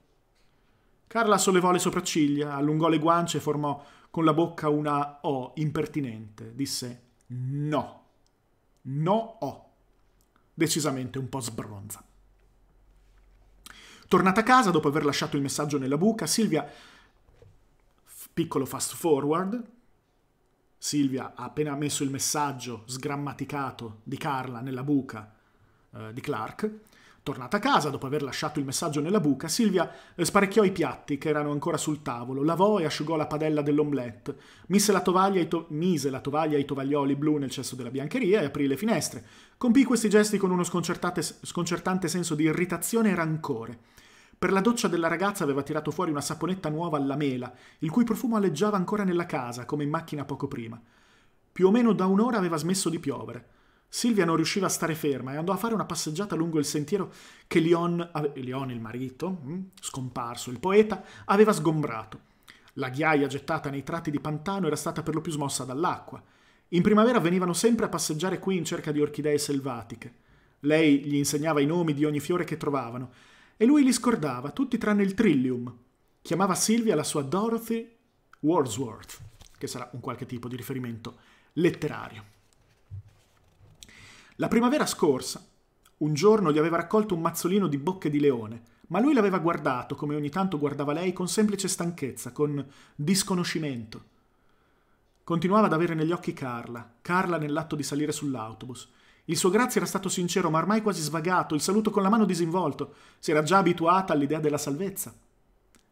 Verso le sei di ritorno a casa, Silvia chiamò Ruth a Toronto, ben sapendo che Carla non doveva ancora essere arrivata. Trovò la segreteria telefonica. Ruth, disse, sono Silvia. Volevo parlarti della ragazza che ti ho mandato. Spero che non diventi una seccatura per te, che vada tutto bene. Può darsi che ti sembri un po' piena di sé, forse è solo l'età. Fammi sapere, ok? Il messaggio lasciato in segreteria. Chiamò di nuovo prima di andare a letto, ma c'era ancora la segreteria, perciò disse soltanto: Sono Silvia, volevo sapere. E riagganciò. Potevano essere le nove e mezza, le dieci, non era nemmeno del tutto buio. Ruth doveva essere ancora fuori e la ragazza ovviamente non rispondeva al telefono in casa d'altri. Silvia cercò di ricordare il cognome degli inquilini che stavano al piano di sopra. Di sicuro non erano ancora andati a dormire, ma non le veniva in mente. Poco male. Chiamarli avrebbe significato mostrarsi troppo preoccupata, ansiosa, invadente. Si mise a letto, ma era impossibile starci. Così prese la trapunta leggera e se ne andò in soggiorno, a sdraiarsi sul divano sul quale aveva dormito negli ultimi tre mesi di vita di Leon. Di Leon. Era poco convinta di riuscire a chiudere occhio anche lì. Eh, la parete a vetri era senza tendoni e dal colore del cielo si capiva che era spuntata alla luna, anche se non si riusciva a vederla. L'attimo dopo si trovò chissà dove, su un autobus. In Grecia, insieme a un mucchio di gente che non conosceva, e il motore del pullman faceva un baccano minaccioso, martellante. Svegliandosi si rese conto che in realtà qualcuno bussava alla porta, quindi abbiamo avuto un piccolo momento dei suoi sogni, no? Carla è, molto carina questa cosa, come, come con una brevissima descrizione ci riesce a far vivere letteralmente un momento in cui ti addormenti, fai in tempo a sognare, no? L'attimo dopo si trovò chissà dove, su un autobus, in Grecia, insieme a un mucchio di gente che non conosceva, il motore del pullman faceva un baccano minaccioso, martellante. Svegliandosi si rese conto che in realtà qualcuno bussava alla porta. Carla? Bella questa parte, molto ben fatta. Carla aveva tenuto la testa bassa finché l'autobus non aveva lasciato la città. Stacco. Qui siamo con Silvia. È Carla? Stacco. Carla aveva tenuto la testa bassa finché l'autobus non aveva lasciato la città, quindi lì siamo in sospeso. I finestrini erano scusi, scuri. Chi è che bussava alla porta? Erano scuri, nessuno poteva vedere dentro. Ma era lei a doversi trattenere dal guardare fuori, per paura che sbucasse Clark sulla porta di un negozio o fermo a un semaforo, del tutto ignaro che lei lo stesse lasciando, come se quello fosse un pomeriggio qualsiasi. Anzi no, il pomeriggio in cui doveva entrare in azione il loro, o meglio, il suo piano. Impaziente di sapere a che punto Carla fosse riuscita a portare le cose. Capite ovviamente che il piano eh, di... sì, molto molto registico, molto cinematografico, sì. Eh, capite che il piano eh, di eh, Carl è anche il tentativo Clark, ma no, Clark e Carla, mamma mia, il piano di Clark è il tentativo di rimediare al suo stesso fallimento in cui ha trascinato Carla. E ora Carla se lo, deve, se lo sarebbe dovuto sobbarcare, no? Capite, no? La, la pressione. Clark. Sarà Flora che bussa alla porta. Anch'io a MBBM tendo, tendo a pensare così, ma stiamo a vedere, è probabile.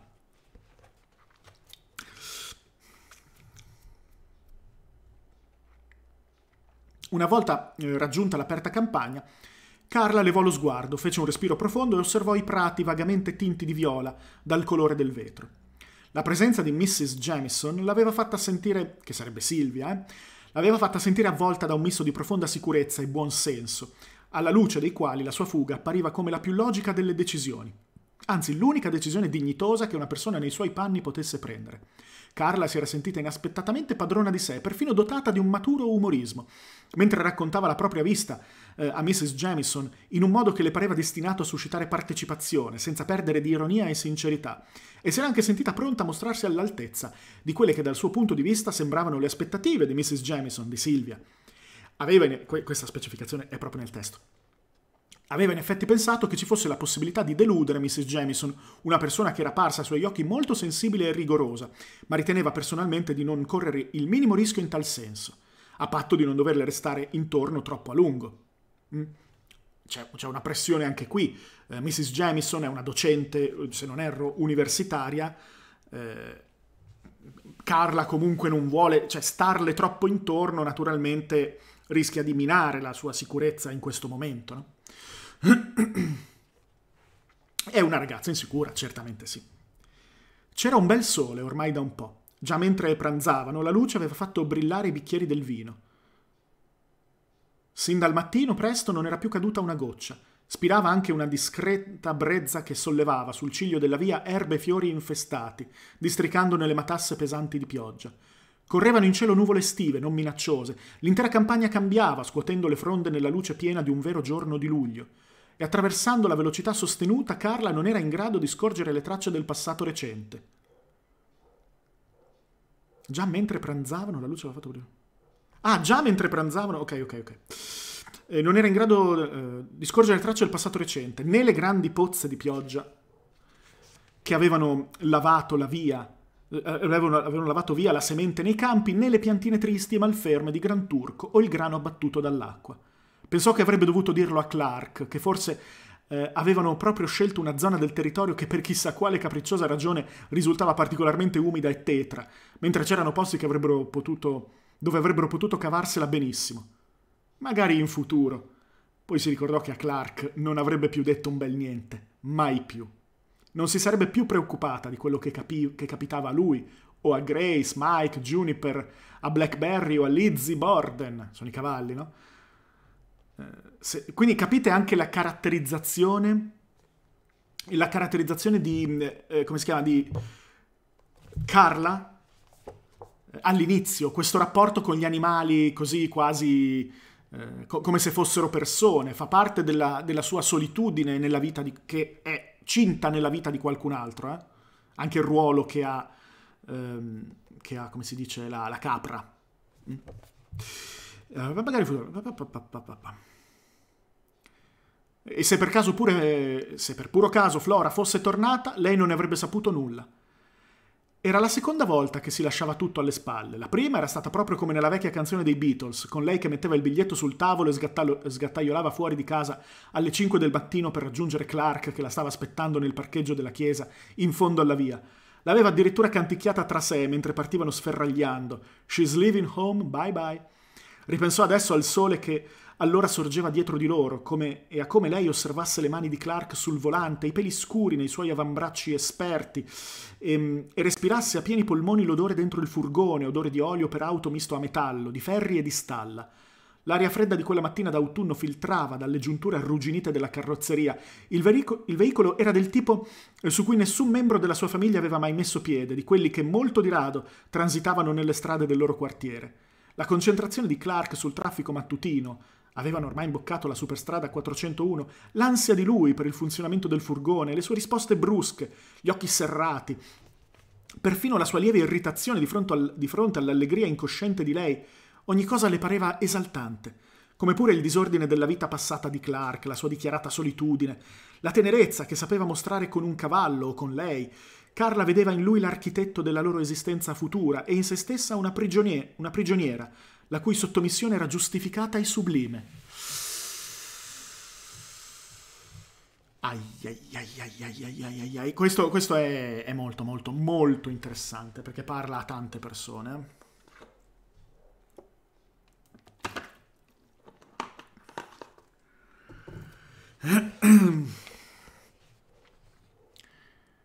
Non sai a che cosa rinunci. Le, no, ah, tono differente. Non sai a che cosa rinunci, le scrisse la madre in quell'unica lettera che ricevette e alla quale non rispose mai. Invece, nei momenti da brivido di quella fuga mattutina, Carla era ben consapevole di ciò che lasciava dietro di sé, pur avendo un'idea alquanto vaga di ciò che le riservava il domani. Disprezzava i suoi genitori, la loro casa, il giardino, gli album di fotografie, le vacanze, i libri di ricette, il bagno chiamato toilette, le cabine armadio, il sistema di irrigazione automatica del prato. Sciardi. Nel breve messaggio scritto per loro avevo utilizzato il termine autentico. Ho sempre sentito il bisogno di un tipo di vita più autentico. So di non potermi aspettare che comprendiate. Eh, il discorso del denaro ovviamente derivava anche dalla descrizione del furgone guidato da Carl, non tipico del quartiere dove lei è cresciuta. Ora l'autobus, fast forward, siamo di nuovo, eh? ora l'autobus si era fermato al primo paese lungo il tragitto. Il deposito era anche una stazione di servizio, la stessa dove nei primi tempi lei e Clark venivano a fare il pieno di benzina a prezzo ridotto. Il loro mondo allora e stiamo di nuovo tornando, no? Il loro mondo allora comprendeva diversi paesi della zona e qualche volta avevano fatto proprio i turisti, assaggiando le specialità dei luridi bar-ristorante del posto. Stinchi di maiale, krauti, frittelle di patate, birra. Poi cantavano per tutta la via del ritorno come due campagnoli ammattiti. Dopo un certo periodo, tuttavia, ogni uscita venne considerata una perdita di tempo e denaro. Usciva la sera soltanto chi non aveva ancora capito come funziona davvero la vita. Questa frase non è in corsivo e non è un discorso diretto, ma è chiaramente il pensiero di Clark che giustifica se stesso. Ora stava piangendo, gli occhi le si erano riempiti di lacrime senza che neanche lei se ne, accorge, senza, senza che neanche se ne accorgesse.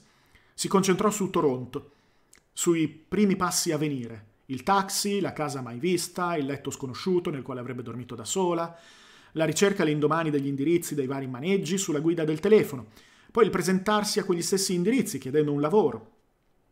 Non riusciva a immaginarselo, a vedere se stessa in metropolitana su un tram, o che badava dei nuovi cavalli, o parlava con gente nuova, che viveva ogni giorno tra schiere di persone, nessuna delle quali era Clark. Una vita, un posto scelti per quella precisa ragione, cioè che non contemplavano Clark. L'idea strana e terrificante che le si andava chiarendo riguardo al suo mondo futuro mentre cercava di immaginarlo era che lei, in quel mondo non sarebbe esistita. Vi si sarebbe soltanto mossa, avrebbe aperto la bocca e parlato, facendo ora questo, ora quello, ma non sarebbe stata davvero presente. E la cosa ancora più strana era che lei stava facendo tutto quanto, viaggiando a bordo di questo autobus, proprio nella speranza di ritrovare se stessa. Nella speranza, per usare parole che avrebbe, dovuto, che avrebbe potuto pronunciare Mrs. Jamison, e anche lei poco fa con grande soddisfazione, di prendere in mano le redini della sua vita senza nessuno che le alitasse sul collo, senza che i malumori degli altri contagia- la contagiassero di infelicità. Ma che cosa le sarebbe stato a cuore? Come avrebbe saputo di essere viva? Adesso, mentre fuggiva da lui, Clark conservava un posto nella sua vita, ma a fuga compiuta, quando avesse semplicemente ripreso ad andare avanti, che cosa avrebbe messo al suo posto? Cos'altro? Di chi avrebbe mai potuto rappresentare una sfida altrettanto efficace? Cos'altro chi avrebbe mai potuto rappresentare una sfida altrettanto efficace? Ce l'aveva fatta smettere di piangere, in compenso adesso tremava. Era in pessimo stato, doveva recuperare il controllo, darsi un contegno. Datti un contegno, le aveva detto Clark qualche volta, di passaggio in una stanza dove lei uggiolava piano, sforzandosi di non singhiozzare, e in effetti sarebbe stata la cosa migliore da fare. Si erano fermati in un altro paese, era il terzo dalla partenza, il che significava che dovevano avere, averne attraversato un secondo senza che lei lo notasse. L'autobus doveva aver fatto sosta, l'autista doveva aver annunciato il nome della località e lei non aveva visto né sentito nulla, assorta nella nebbia del suo terrore. Di lì a poco avrebbero raggiunto l'autostrada, puntando dritti su Toronto. E lei sarebbe stata perduta. Perduta. Che senso poteva avere montare su un taxi e consegnare un nuovo indirizzo? Eh, alzarsi al mattino, lavarsi i denti, andare per il mondo. Perché cercare un lavoro, riempirsi la bocca di cibo, farsi scarrozzare di qua e di là da un mezzo pubblico?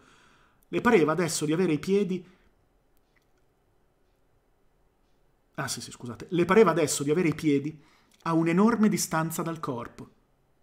Le ginocchia, dentro quei pantaloni sconosciuti e fruscianti, pesavano come macigni. Si sentiva trascinata verso terra come un cavallo abbattuto che non si rialzerà mai più. Voglio rileggere questa paginetta e mezza, questa mezza paginetta. Ma che cosa le sarebbe stato a cuore?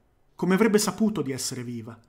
Adesso, mentre fuggiva da lui, Clark conservava un posto nella sua vita, ma a fuga compiuta, quando avesse semplicemente ripreso ad andare avanti, che cosa avrebbe messo al suo posto?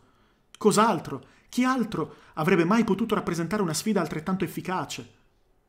Ce l'aveva fatta smettere di piangere, in compenso adesso tremava. Era in pessimo stato, doveva recuperare il controllo, darsi un contegno, datti un contegno. Le aveva detto Clark qualche volta di passaggio in una stanza dove lei uggiolava piano, sforzandosi di non singhiozzare, e in effetti sarebbe stata la cosa migliore da fare. Si erano fermati in un altro paese, era il terzo dalla partenza, il che significava che dovevano averne attraversato un secondo senza che lei neanche lo notasse. L'autobus doveva aver fatto sosta, l'autista doveva aver annunciato il nome della località e lei non aveva visto né sentito nulla, assorta nella nebbia del suo terrore. Di lì a poco avrebbe raggiunto l'autostrada, puntando, avrebbero raggiunto l'autostrada puntando dritti su Toronto. E lei sarebbe stata perduta. Perduta. Che senso poteva avere? Montare su un taxi e consegnare un nuovo indirizzo, alzarsi al mattino, lavarsi i denti, andare per il mondo. Perché cercare un lavoro, riempirsi la bocca di cibo, farsi scarrozzare di qua e di là da un mezzo pubblico. Le pareva adesso di avere i piedi a un'enorme distanza dal corpo. Le ginocchia, dentro quei pantaloni sconosciuti e fruscianti, pesavano come macigni. Si sentiva trascinata verso terra come un cavallo abbattuto che non si rialzerà mai più.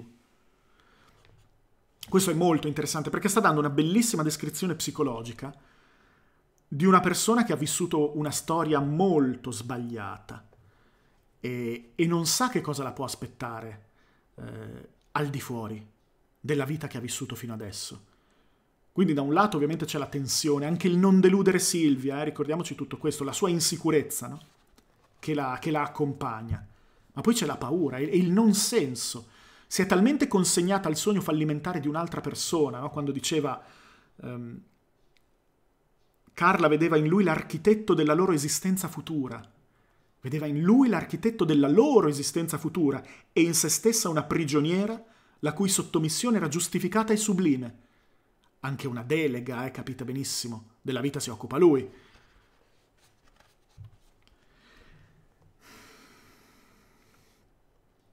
L'autobus aveva già caricato a bordo qualche passeggero e i pacchi postali in attesa presso la stazione. Una donna con il figlio nel passeggino salutava qualcuno con la mano. Anche l'edificio alle loro spalle, eh, anche l'edificio alle loro spalle, il caffè che fungeva da fermata pubblica, era già in movimento. Un'onda liquida attraversò lo spazio tra i mattoni e le finestre, come se stessero per dissolversi. In pericolo di vita, Carla issò in avanti il suo corpo enorme, le gambe di piombo, incespicò esclamando Mi faccia scendere. L'autista frenò e sbraitò seccato. Ma lei non andava a Toronto. La gente le riservava occhiate distrattamente incuriosite. Nessuno pareva comprendere il suo reale stato di angoscia. Devo scendere qui. C'è un servizio in fondo al veicolo. No, no, devo scendere. Guardi che non l'aspetto, ha capito? Ha del bagaglio sotto? No, sì, no. Niente bagaglio? Una voce nell'autobus disse: Claustrofobia, ecco che cosa le prende. Si sente male? chiese l'autista. No, no, voglio solo scendere. Ok, ok, mi sta bene. Virgolettato, come pensiero, no? Vieni a prendermi.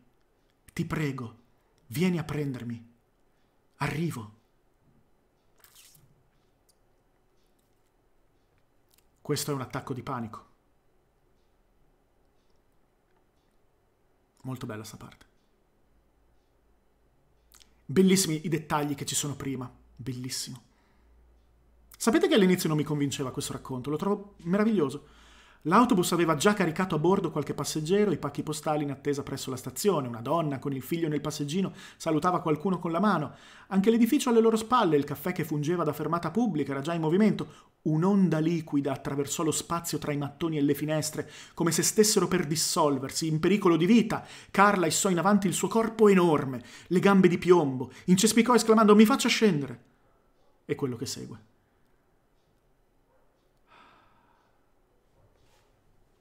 Bello. Silvia, ci spostiamo. Silvia aveva scordato di chiudere a chiave. Si rese conto che anche adesso avrebbe fatto meglio a chiudere anziché aprire, ma ormai era tardi.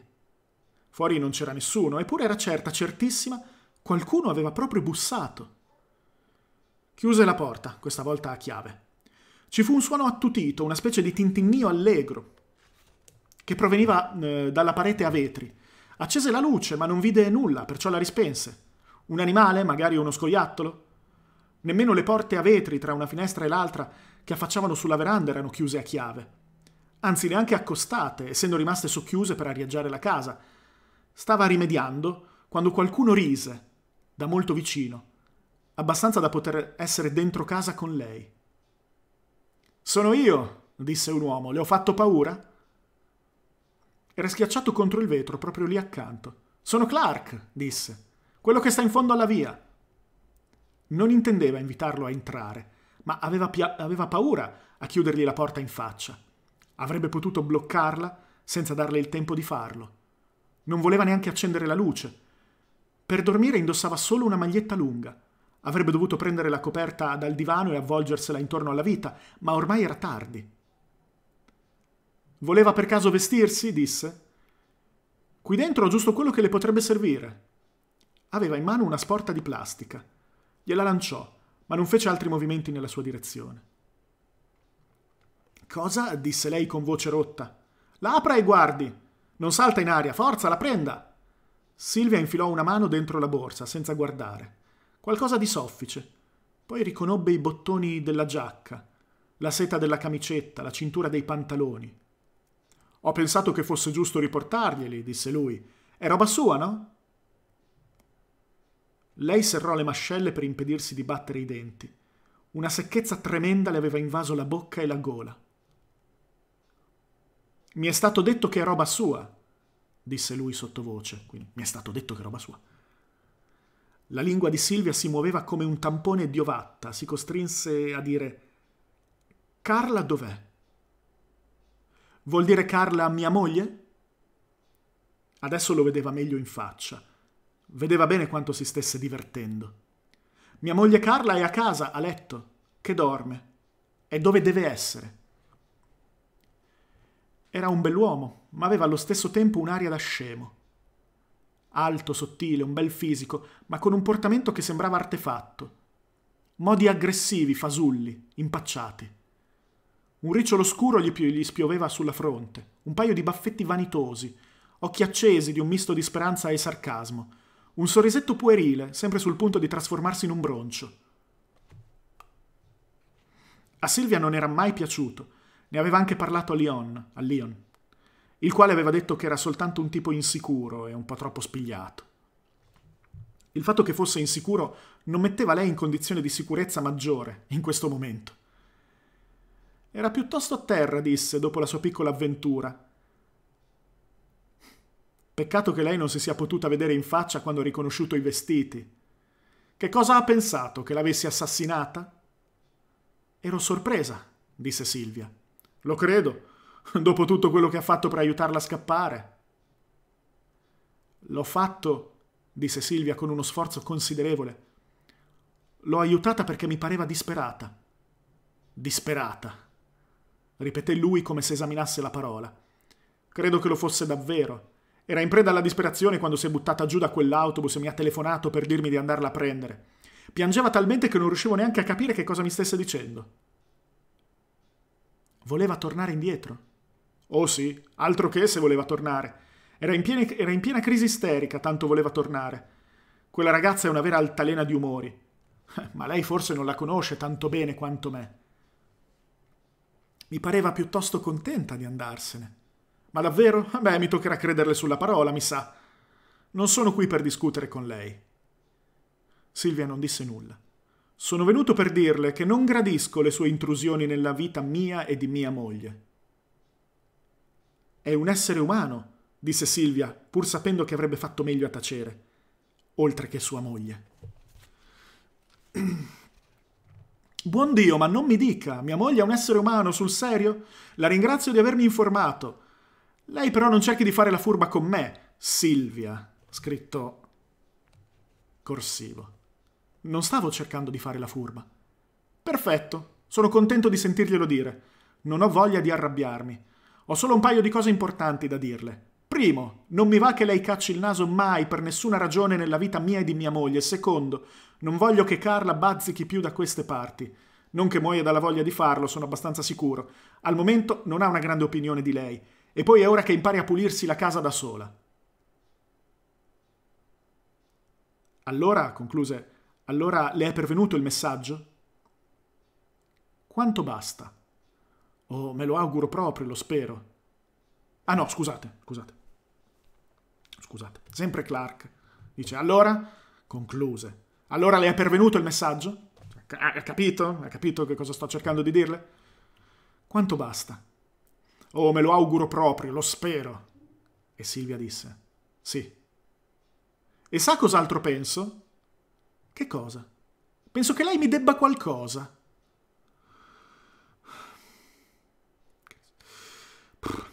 Cosa? Penso che lei mi debba... Secondo me mi deve delle scuse. Silvia replicò.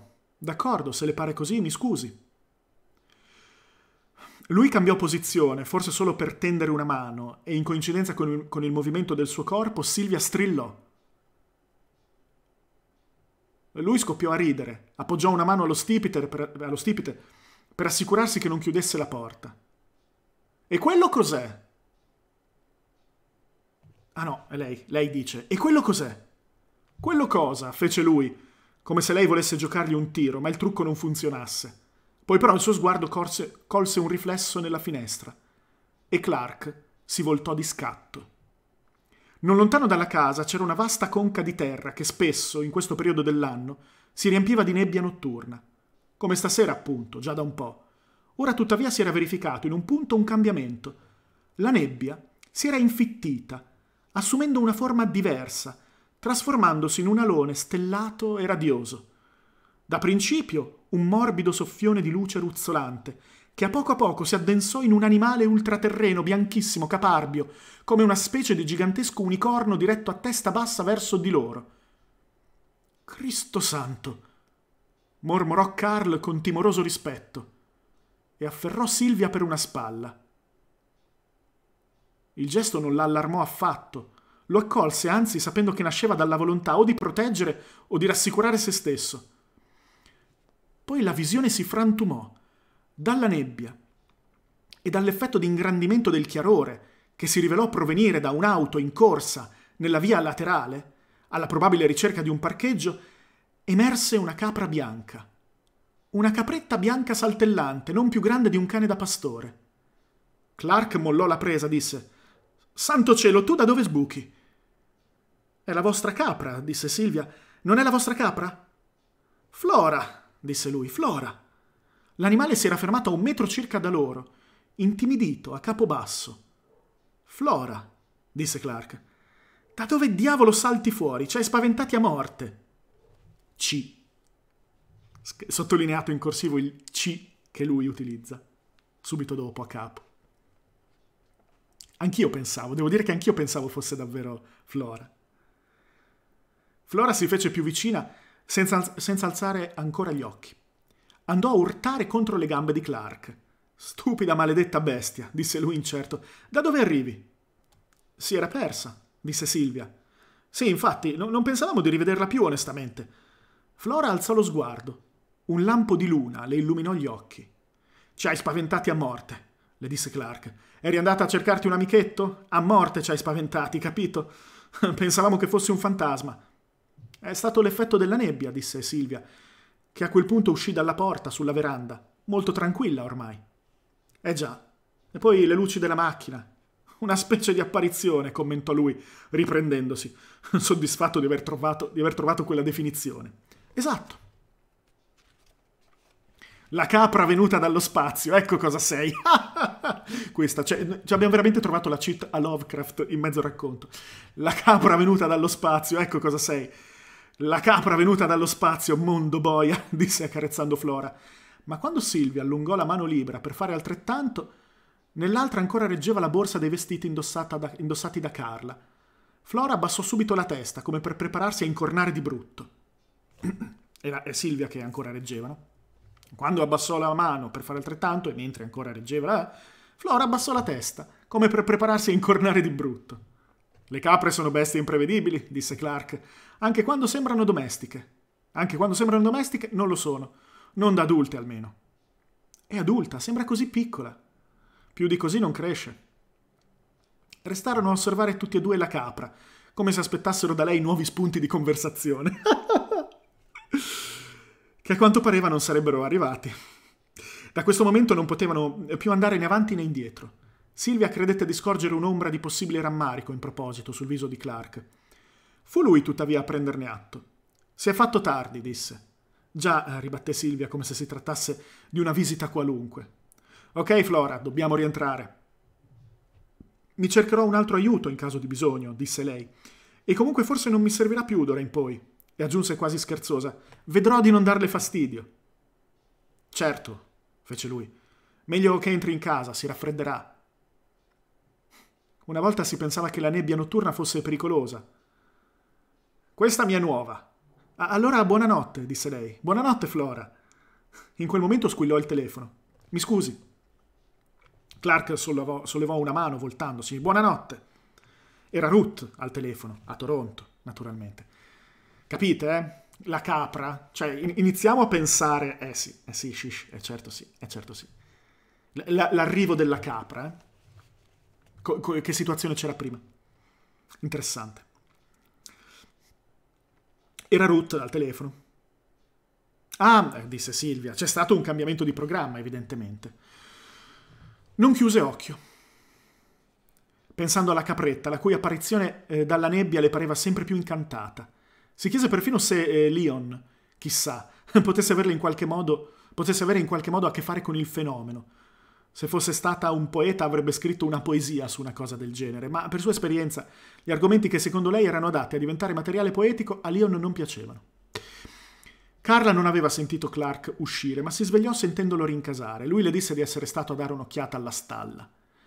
È passata una macchina poco fa e non capivo che cosa ci facesse da queste parti. Non riuscivo a riaddormentarmi se non andavo a controllare che fosse tutto a posto. Beh, tutto a posto? A quel che ho potuto vedere sì. E mentre c'ero, aggiunse, ho pensato tanto male che vada a trovare una certa persona. Le ho riportato i vestiti. Carla si rizzò a sedere. Non l'avrai svegliata. Si è svegliata da sé, nessun problema. Abbiamo fatto due chiacchiere. Oh, nessun problema. Non le hai detto niente di quella storia, vero? Probabilmente riferimento era al piano famoso. Niente, non ne ho parlato. Ah, cazzo. Non le hai detto niente di quella storia, vero? Niente, non le ho parlato. Davvero, era tutta inventata, davvero. Devi credermi, tutte bugie. Ok, mi devi credere. E allora ti credo. Mi sono inventata tutto. Ok? Clark si mise a letto. Hai i piedi freddi, disse lei. Sembrano bagnati. Eh, c'è un mucchio di rugiada. Vieni qua, aggiunse. Quando ho letto il messaggio... L'aggiunse sempre il collegamento al parlante precedente, non è facile perché di solito alternano. Vieni qua, aggiunse. Quando ho letto il messaggio mi sono sentito sprofondare, giuro. Se mai te ne andassi, mi sembrerebbe di avere un gran buco dentro. Il tempo si era stabilizzato sul bello. Naturalmente, ehm, a che cosa a che cosa si riferisce? Presumibilmente, quasi certamente, alle cose che eh, Carla ha raccontato a Silvia, quando dice eh, davvero tutta inventata, davvero devi credermi, tutte bugie. Chiaramente presumo il riferimento siano alle confessioni che Carla ha fatto a Silvia. Siamo molto vicini alla fine, eh, ragazzi. Abbastanza. Il tempo si era stabilizzato sul bello. Per strada, nei negozi, all'ufficio postale, tutti salutavano dicendo che l'estate era arrivata finalmente. L'erba dei prati e perfino il povero grano abbattuto si ripresero. Le pozzanghere asciugarono, il fango diventò polvere, si alzò un vento tiepido e la gente tornò ad avere voglia di fare. Il telefono squillava, richieste di escursioni, corsi di equitazione. Gli organizzatori di campi estivi, avendo disdetto le visite ai musei, erano di nuovo interessati. Comparvero i primi pulmini, affollati di ragazzi turbolenti. I cavalli correvano intorno allo steccato, liberi dalle coperte antipioggia. Clark era riuscito a procurarsi un pezzo di copertura a basso costo. Aveva passato tutto il primo giorno dopo la fuga, così era stata battezzata la gita in autobus di Carla, a sistemare la tettoia del maneggio. Per un paio di giorni, mentre si occupavano di varie faccende, lui e Carla si scambiarono saluti con la mano. Se per caso gli passava accanto e nei pressi non c'era nessuno, Carla gli posava un bacio sulla spalla, attraverso il tessuto leggero della camicia estiva. Se provi un'altra volta a scapparmi ti concio per le feste, le disse Clark. E lei, lo faresti davvero? Cosa? Conciarmi per le feste. E come? Era di ottimo umore adesso, irresistibile come quando lo aveva conosciuto. C'erano uccelli ovunque, merli dall'ala rossa, petti rossi, un paio di colombe che cantavano al mattino, stormi di corvi e gabbiani in volo di ricognizione dal lago e grandi avvoltoi dal collo rosso, appollaiati tra i rami di una quercia morta a mezzo miglio circa di distanza, ai margini del bosco. Da principio se ne stavano lì ad asciugarsi le ali voluminose, svolazzando un po' intorno, per poi assestarsi e lasciare che il sole e l'aria tiepida facesse la loro parte. In capo a un paio di giorni già si erano ripresi e volteggiavano alti prima di scendere in picchiata, sparire tra le chiome e tornare a riposarsi sul solito albero spoglio. La padrona di Lizzie, Joy Tucker, si ripresentò cordiale e abbronzata. Non ne poteva più della pioggia, perciò si era fatta una vacanza sulle montagne rocciose. Adesso era tornata. Tempismo perfetto in termini di clima, disse Clark. Ora lui e Joy Tucker scherzavano di nuovo, come se nulla fosse accaduto. Lizzie mi sembra in forma, disse lei. Ma dov'è la sua amichetta? Come si chiama? Flora. Sparita, disse Clark. Magari è scappata anche lei sulle montagne rocciose. Ho visto un mucchio di capre selvatiche da quelle parti, con delle corna stupende. L'ho sentito dire. Per tre o quattro giorni avevano avuto troppo da fare per andare a prendere la posta nella cassetta delle lettere. Aprendola, Carla vi trovò la bolletta del telefono, la promessa di una possibile vincita di un milione di dollari in cambio dell'abbonamento a una certa rivista e la lettera di Mrs. Jamison, Silvia.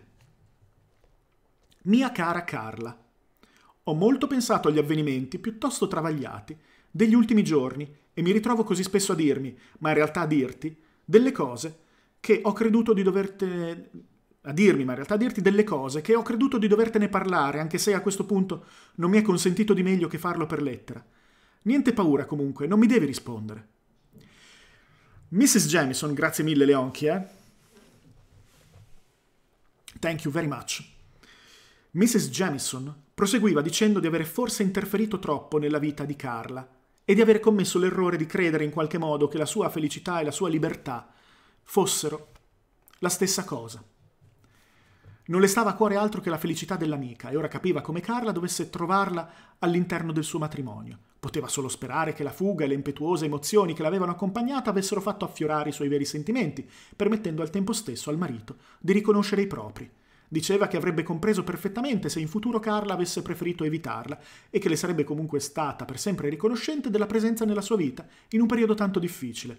Naturalmente sì, eh, agghiacciante eh, davvero, anche perché ricordiamoci sempre che l'intervento di Silvia è anche stato l'intervento di una persona innamorata, non soltanto dell'amica che vuole liberare l'altra.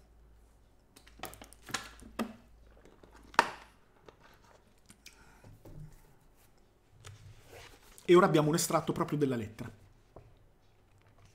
come si vede eh, centrato in corsivo. Sapete che è un po' dura farsi due ore quasi intere di lettura? Un po' dura. Vediamo.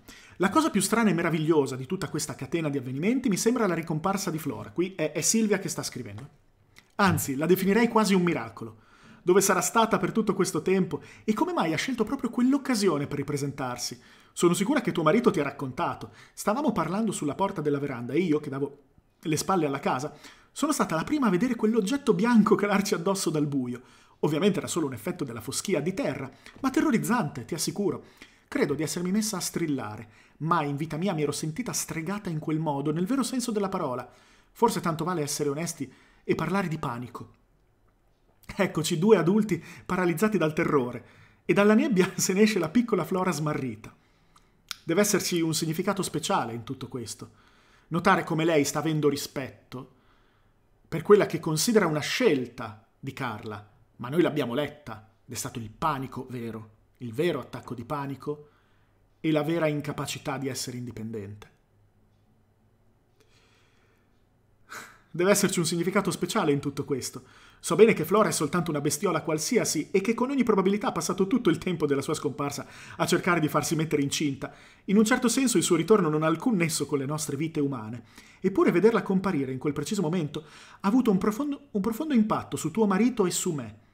Quando due esseri umani divisi da un motivo di ostilità si ritrovano insieme disorientati, anzi no, spaventati, dalla, stessa, dalla stessa apparizione, si produce un legame tra loro che li fa sentire uniti nel modo più inatteso, uniti nella rispettiva umanità, non so come altro dirlo. Ci siamo separati quasi da amici. Ecco perché Flora riveste nella mia vita, e forse anche in quella di tuo marito e nella tua, il ruolo di un angelo. Ti auguro ogni bene. Silvia Jamison. Quasi didascalica questa lettera, quasi a volerci spiegare, a descrivere quello che è successo. Ma il racconto non è finito. Rimane una pagina e mezzo.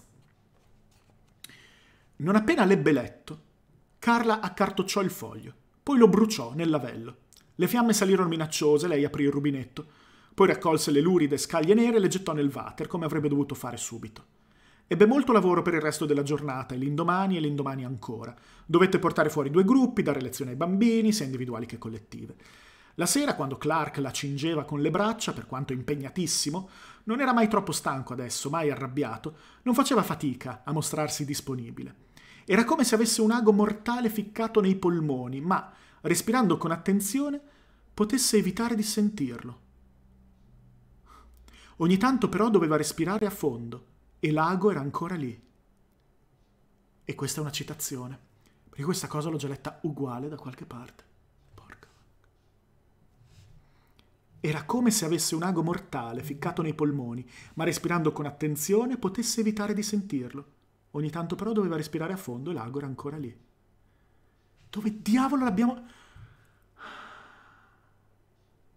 Accidenti. Una... Sappiate che questa è una citazione. Silvia aveva preso un appartamento nella cittadina universitaria dove insegnava. La casa non è... Silvia hm, aveva preso un appartamento nella cittadina universitaria dove insegnava. Vi ricordate che doveva fare 40 km, no? Ma è davvero da Wallace? No, eh, eh, no, no, no, no, io me lo ricordo proprio alla lettera, alla lettera. Quasi letterale questa citazione. chissà dove cazzo l'ho letto. No. Eh, Silvia eh, aveva preso un appartamento nella cittadina universitaria dove insegnava. La casa non era in vendita o comunque non c'era nessun cartello fuori che lo, annunciasse, che lo annunciasse. Leon Jamison ricevette una sorta di riconoscimento postumo. La notizia comparve sui giornali. Non, parlava, non si parlava di soldi questa volta. No, no, no, aveva proprio questo significato, aveva proprio questo significato metaforico. Vabbè. Con l'avvicinarsi delle giornate secche e dorate dell'autunno, stagione confortante e generosa, Carla scoprì di essersi abituata al pensiero straziante che albergava in lei. Non era più così acuto, anzi, non la sorprendeva neanche più. Al momento invece l'abitava un'idea quasi seducente, una sorda tentazione profonda. Le bastava alzare gli occhi, guardare in una particolare direzione, per sapere dove poteva dirigere i propri passi. Una passeggiata serale, una volta concluse. Una passeggiata serale, una volta concluse le faccende del giorno, al margine del bosco, all'albero spoglio, su cui gli avvoltoi avevano gozzovigliato. E poi le piccole ossa sporche, in mezzo all'erba, il teschio con appeso forse qualche brandello di pelle insanguinata, era chiaro, eh?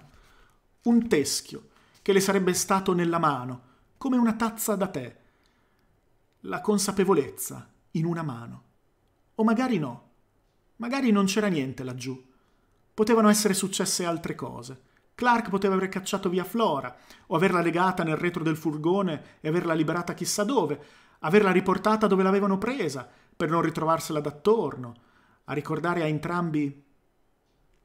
Poteva anche essere libera, i giorni passavano e Carla non si avvicinava a quel luogo. resisteva alla tentazione. Finito.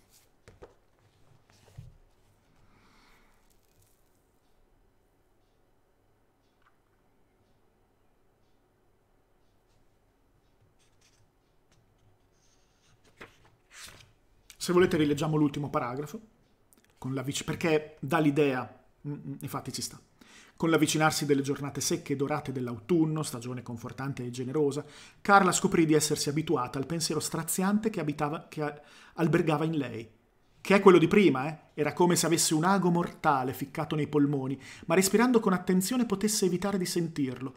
Ogni tanto però doveva respirare a fondo e l'ago era ancora lì. Ci raccontano di Silvia che ha trovato casa là, con l'avvicinarsi scoprì di essersi abituata a quel pensiero straziante che albergava in lei. Non era più così acuto, anzi, non la sorprendeva neanche più. Al momento, invece, l'abitava un'idea quasi seducente, una sorda tentazione profonda. Le bastava alzare gli occhi, guardare in una particolare direzione, per sapere dove poteva dirigere i propri passi. Una passeggiata serale, una volta concluse le faccende del giorno, al margine del bosco, all'albero spoglio su cui gli avvoltoi avevano gozzovigliato. L'avevamo, l'avevamo, capito perfettamente. Eh? Quando sono saltati, si parlava di tutti quegli uccelli e sono saltati fuori quegli avvoltoi. Penso che molti di noi abbiano pensato alla capra. Eh? E poi le piccole ossa sporche in mezzo all'erba, il teschio con appeso forse qualche brandello di pelle insanguinata, un teschio che le sarebbe stato in mano, come una tazza da tè, la consapevolezza in una mano.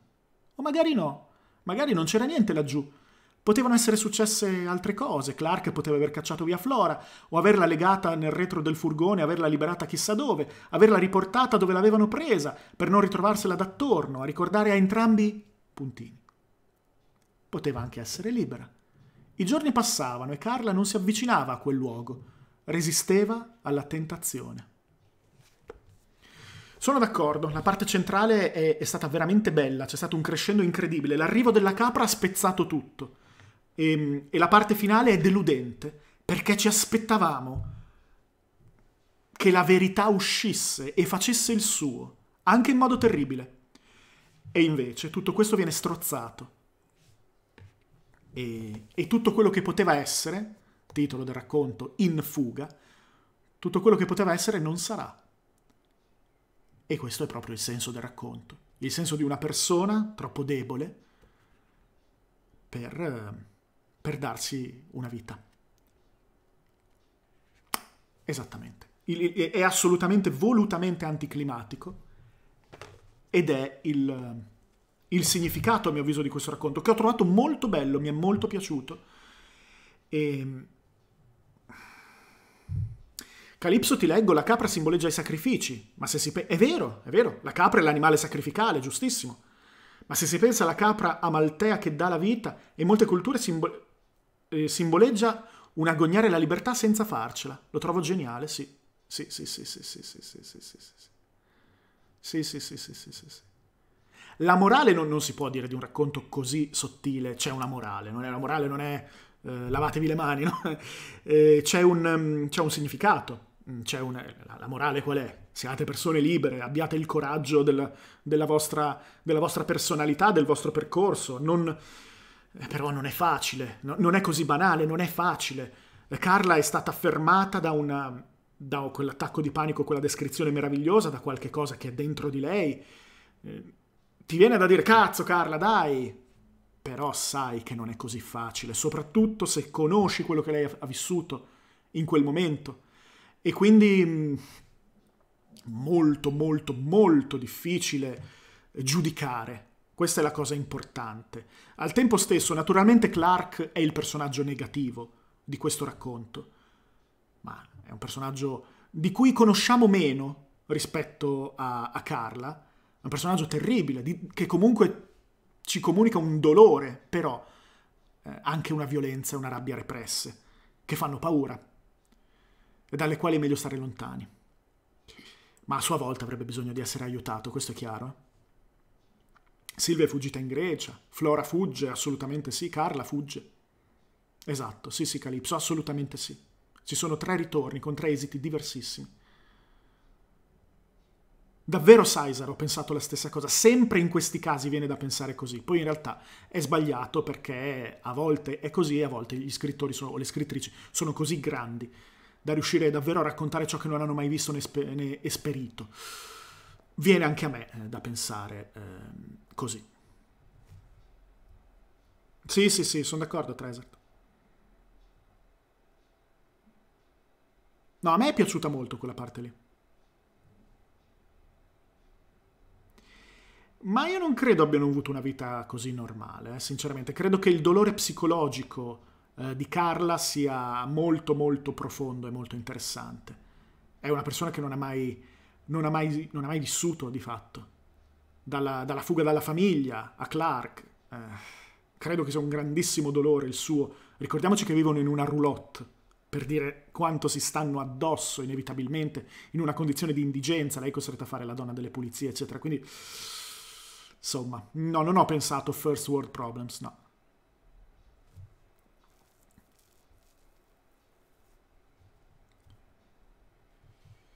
Eh, no, si, anche non, si possono anche non provare.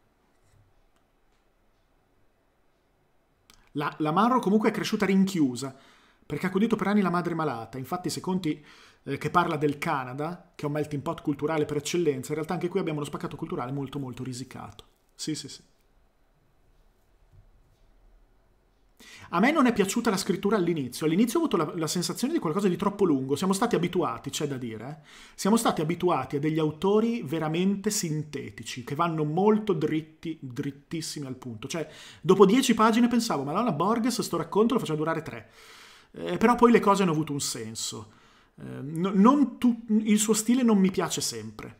Eh, però ha avuto la capacità di descrivere alcuni passaggi, come ad esempio il sogno, il dormiveglia di, eh, di Silvia a un certo punto, delle descrizioni che sono veramente incredibili. E a me ha fatto impazzire la descrizione sull'autobus, veramente bellissima. E poi è molto interessante l'uso che fa dei tempi, proprio perché ci sono queste inquadrature, questi momenti che sono, eh, fanno proprio parte del respiro, no? del, del, racconto, di come eh, ha senso raccontarlo per farti capire bene, per darti un po' di suspense. No?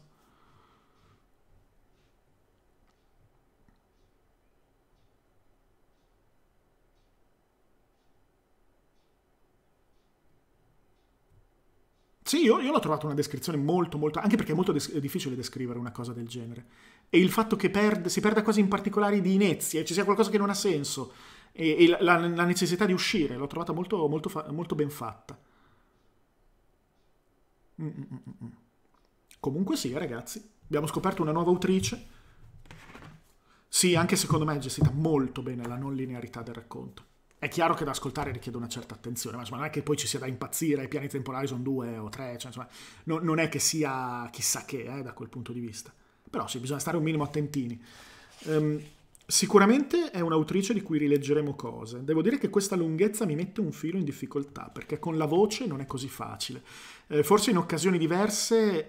Um, solo che come lo spezzi in due è eccessivo spezzarlo in due un racconto come questo. Vediamo, vediamo, vediamo. Devo un pochino prendere devo, eh, devo un pochino prendere le misure eh, con, con, cose più lunghe, forse con più pause, ma magari a volte non c'è neanche tantissimo da dire, però forse ci stanno di più, forse ci stanno di più.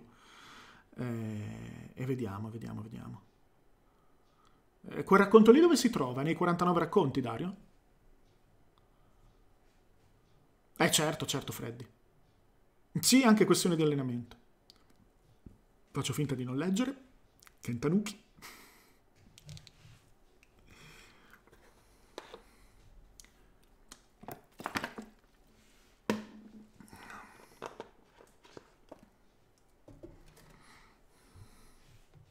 Comunque, sono contento di questa lettura, sinceramente. Um, non so che cosa porterò giovedì. Giovedì sera chiaramente l'impostazione sarà quella di cercare di leggere almeno due o tre racconti. Ne abbiamo fatti anche quattro una sera. E sicuramente porterò di Borges eh, l'altro duello, un altro duello. Vi ricordate che... Um, sì, sono d'accordo Calipso. Infatti in nessun modo si può ridurre questo a un racconto di genere, a un racconto che viene svilito, che poi non sarebbe svilire, ma sarebbe comunque ridurne la portata a qualche cosa legato alla questione di genere. E questo è una cosa che mi piace da morire, proprio perché è universale il suo valore, indipendentemente dai generi e dagli orientamenti che vengono espressi. Eh? Uh, detto questo, eh, che cosa volevo dire? Eh, sicuramente leggeremo il racconto di... Vi ricordate che abbiamo letto Il duello l'altra volta? E siccome subito dopo c'è un altro racconto che all'epoca segnai anche quello con una stellina eh, che, eh, che mi piacque molto, che si chiama L'altro duello, Sicuramente ci sarà quello, però non so che altro sceglierò. Insomma, ve, ve, lo dico come al solito su Instagram e su Telegram. E, no, gatto, no, no, leggiamo uno solo di Borges in una sera. E quindi quelli saranno più avanti.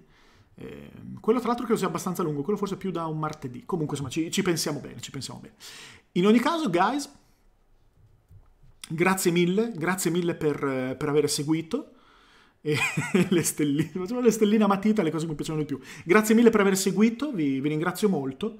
Eh, vediamo, vediamo ragazzi, ci, ci penso, vedo, magari anche qualcosa di nuovo e qualcosa di vecchio. Facciamo un po' un mix come al solito. E, ehm, eh, cosa volevo dire? Ci vediamo eh, domani, se siete appassionati di videogame, andiamo avanti con Bioshock Infinite, se no per gli appassionati di letteratura eh, ci vediamo giovedì alle 21. E in ogni caso, grazie, grazie davvero, è stato un piacere stare in vostra compagnia, sinceramente. State benone, state benone ragazzi. A presto.